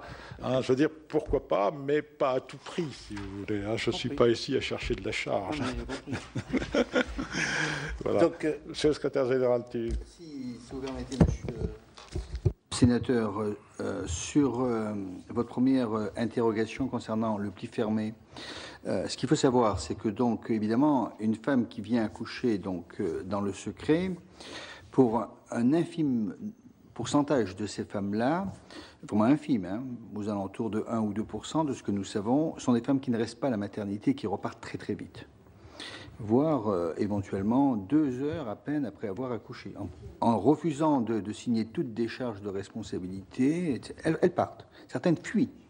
donc ces femmes-là, déjà, petit pourcentage, mais en, on est sur des petits nombres, les petits pourcentages sur les petits nombres sont toujours des faits très significatifs, sont des femmes que euh, ni les correspondants départementaux, ni euh, des professionnels de santé ne peuvent véritablement rencontrer. Parce que la raison fondamentale de l'accouchement dans le secret, le président vous l'a dit déjà, euh, c'est pas donc euh, euh, le sujet premier de savoir si quelqu'un peut ou non garder le secret. Euh, la raison fondamentale, c'est que pour ce pays-là, une femme donc qui vient accoucher a le droit de ressortir en bonne santé et l'enfant aussi. C'est ça qui justifie l'accouchement euh, dans le secret. C'est un, sujet euh, sanitaire, c'est un sujet de sécurité de la mère et de l'enfant. Il vaut mieux qu'elle accouche dans une maternité et en prenant le risque qu'on n'ait pas son identité plutôt qu'elle aille accoucher je ne sais où, qu'elle en meure, que l'enfant éventuellement en meure. Donc ça, il faut vraiment avoir en tête qu'il n'y a pas de débat idéologique très compliqué. Sauf si on veut faire de ce sujet de sécurité un débat idéologique, mais ça, ça me semble personnellement assez éloigné des réalités. Une fois que cette femme donc a accouché, si elle décide de rester au moins 48 heures ou 72 heures, elle est rencontrée par euh, un correspondant départemental qui est un professionnel du Conseil général. Si jamais il ne peut pas être là, le directeur de la maternité a dû s'organiser. La loi en fait une obligation pour qu'un professionnel de santé fasse ce travail euh, auprès de cette femme. Et évidemment, donc, euh, La rencontre se fait donc sur la base d'un recueil d'informations euh, qui est un, recueil qui euh, relève d'un arrêté ministériel qui l'organise et qui borde et, périmètre tout ce qu'on peut demander à la femme.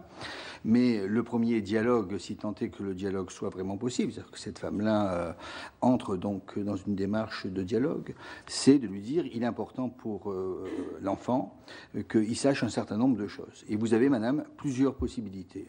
La première, vous avez le droit de ne dire. Si vous dites rien, on prend acte que vous ne dites rien. La seconde, c'est que vous avez le droit de laisser tout élément non identifiant. Vous pouvez dire que le père était français, américain, que vous avez les cheveux blonds, que vous avez fait des études supérieures, pas des études supérieures. Vous laissez les éléments non identifiants euh, parce que donc euh, dans l'histoire de l'enfant, c'est important qu'il ait au moins ces éléments-là. Et si vous voulez en dire plus, alors vous avez plusieurs possibilités pour le faire. La première possibilité, c'est que vous avez le droit, dans le délai de deux mois qui sépare l'accouchement donc de l'engagement du processus d'adoption, de reconnaître l'enfant. Vous faites une reconnaissance d'enfant comme toute euh, personne fait une reconnaissance en France. Si vous faites une reconnaissance donc d'enfant, deux voies vous sont ouvertes, madame. La première, c'est que vous pouvez décider de ne pas élever l'enfant et de le confier au Conseil général, vous l'avez reconnu, il entre dans un processus d'adoption. La seconde voie, c'est vous avez reconnu l'enfant et vous en demandez la restitution, sous réserve qu'il n'y ait pas de problème majeur de protection de l'enfance. Votre droit, c'est de repartir avec cet enfant-là.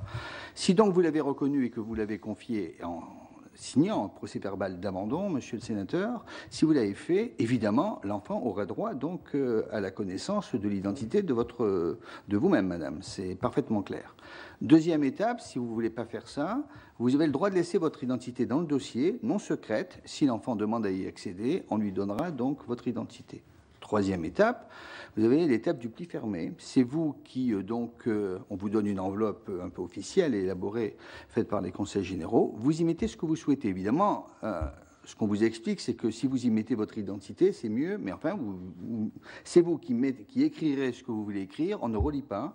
C'est vous qui mettrez ceci dans l'enveloppe, c'est vous qui fermerez l'enveloppe. Nous, simplement, Conseil général, on est gardien de cette enveloppe-là, on ne l'ouvre pas. Ce n'est que si l'enfant demande à accéder à ses origines que le, un membre du CNOP, en l'occurrence probablement le président, puisqu'on n'a pas pour l'instant reçu de demande de ce type-là, l'ouvrira. S'il l'ouvre et s'il y a une identité, alors on cherchera à vous contacter si on vous retrouve. Enfin, il faut dire que la loi nous a donné des moyens d'investigation très considérables, notamment auprès des organismes de protection. Et monsieur le sénateur, il vous a sûrement pas échappé qu'il y a peu euh, de citoyens en France euh, qui ne sont pas concernés par un régime de protection sociale. Donc on arrive assez facilement à retrouver. Si donc on vous retrouve, alors à ce moment-là, vous pourrez dire oui, c'est bien moi qui ai laissé, mais là, au moment où vous m'en parlez, je ne suis pas prête à lever le secret, donc je vous demande de ne rien dire, euh, mais on pourra revoir cette démarche ultérieurement, ou effectivement, c'est bien moi, je suis prêt donc euh, à lever le secret. Donc il y a, vous voyez, une sorte de panel sur euh, cet aspect euh, des choses. Pour ce qui est des enfants nés à l'étranger, la compétence du, du, CNOP est très stricte, monsieur le sénateur. Est très stricte parce qu'elle ne concerne que soit des enfants. D'abord, un, premièrement, des enfants qui sont nés dans le secret. Ça, c'est une première condition.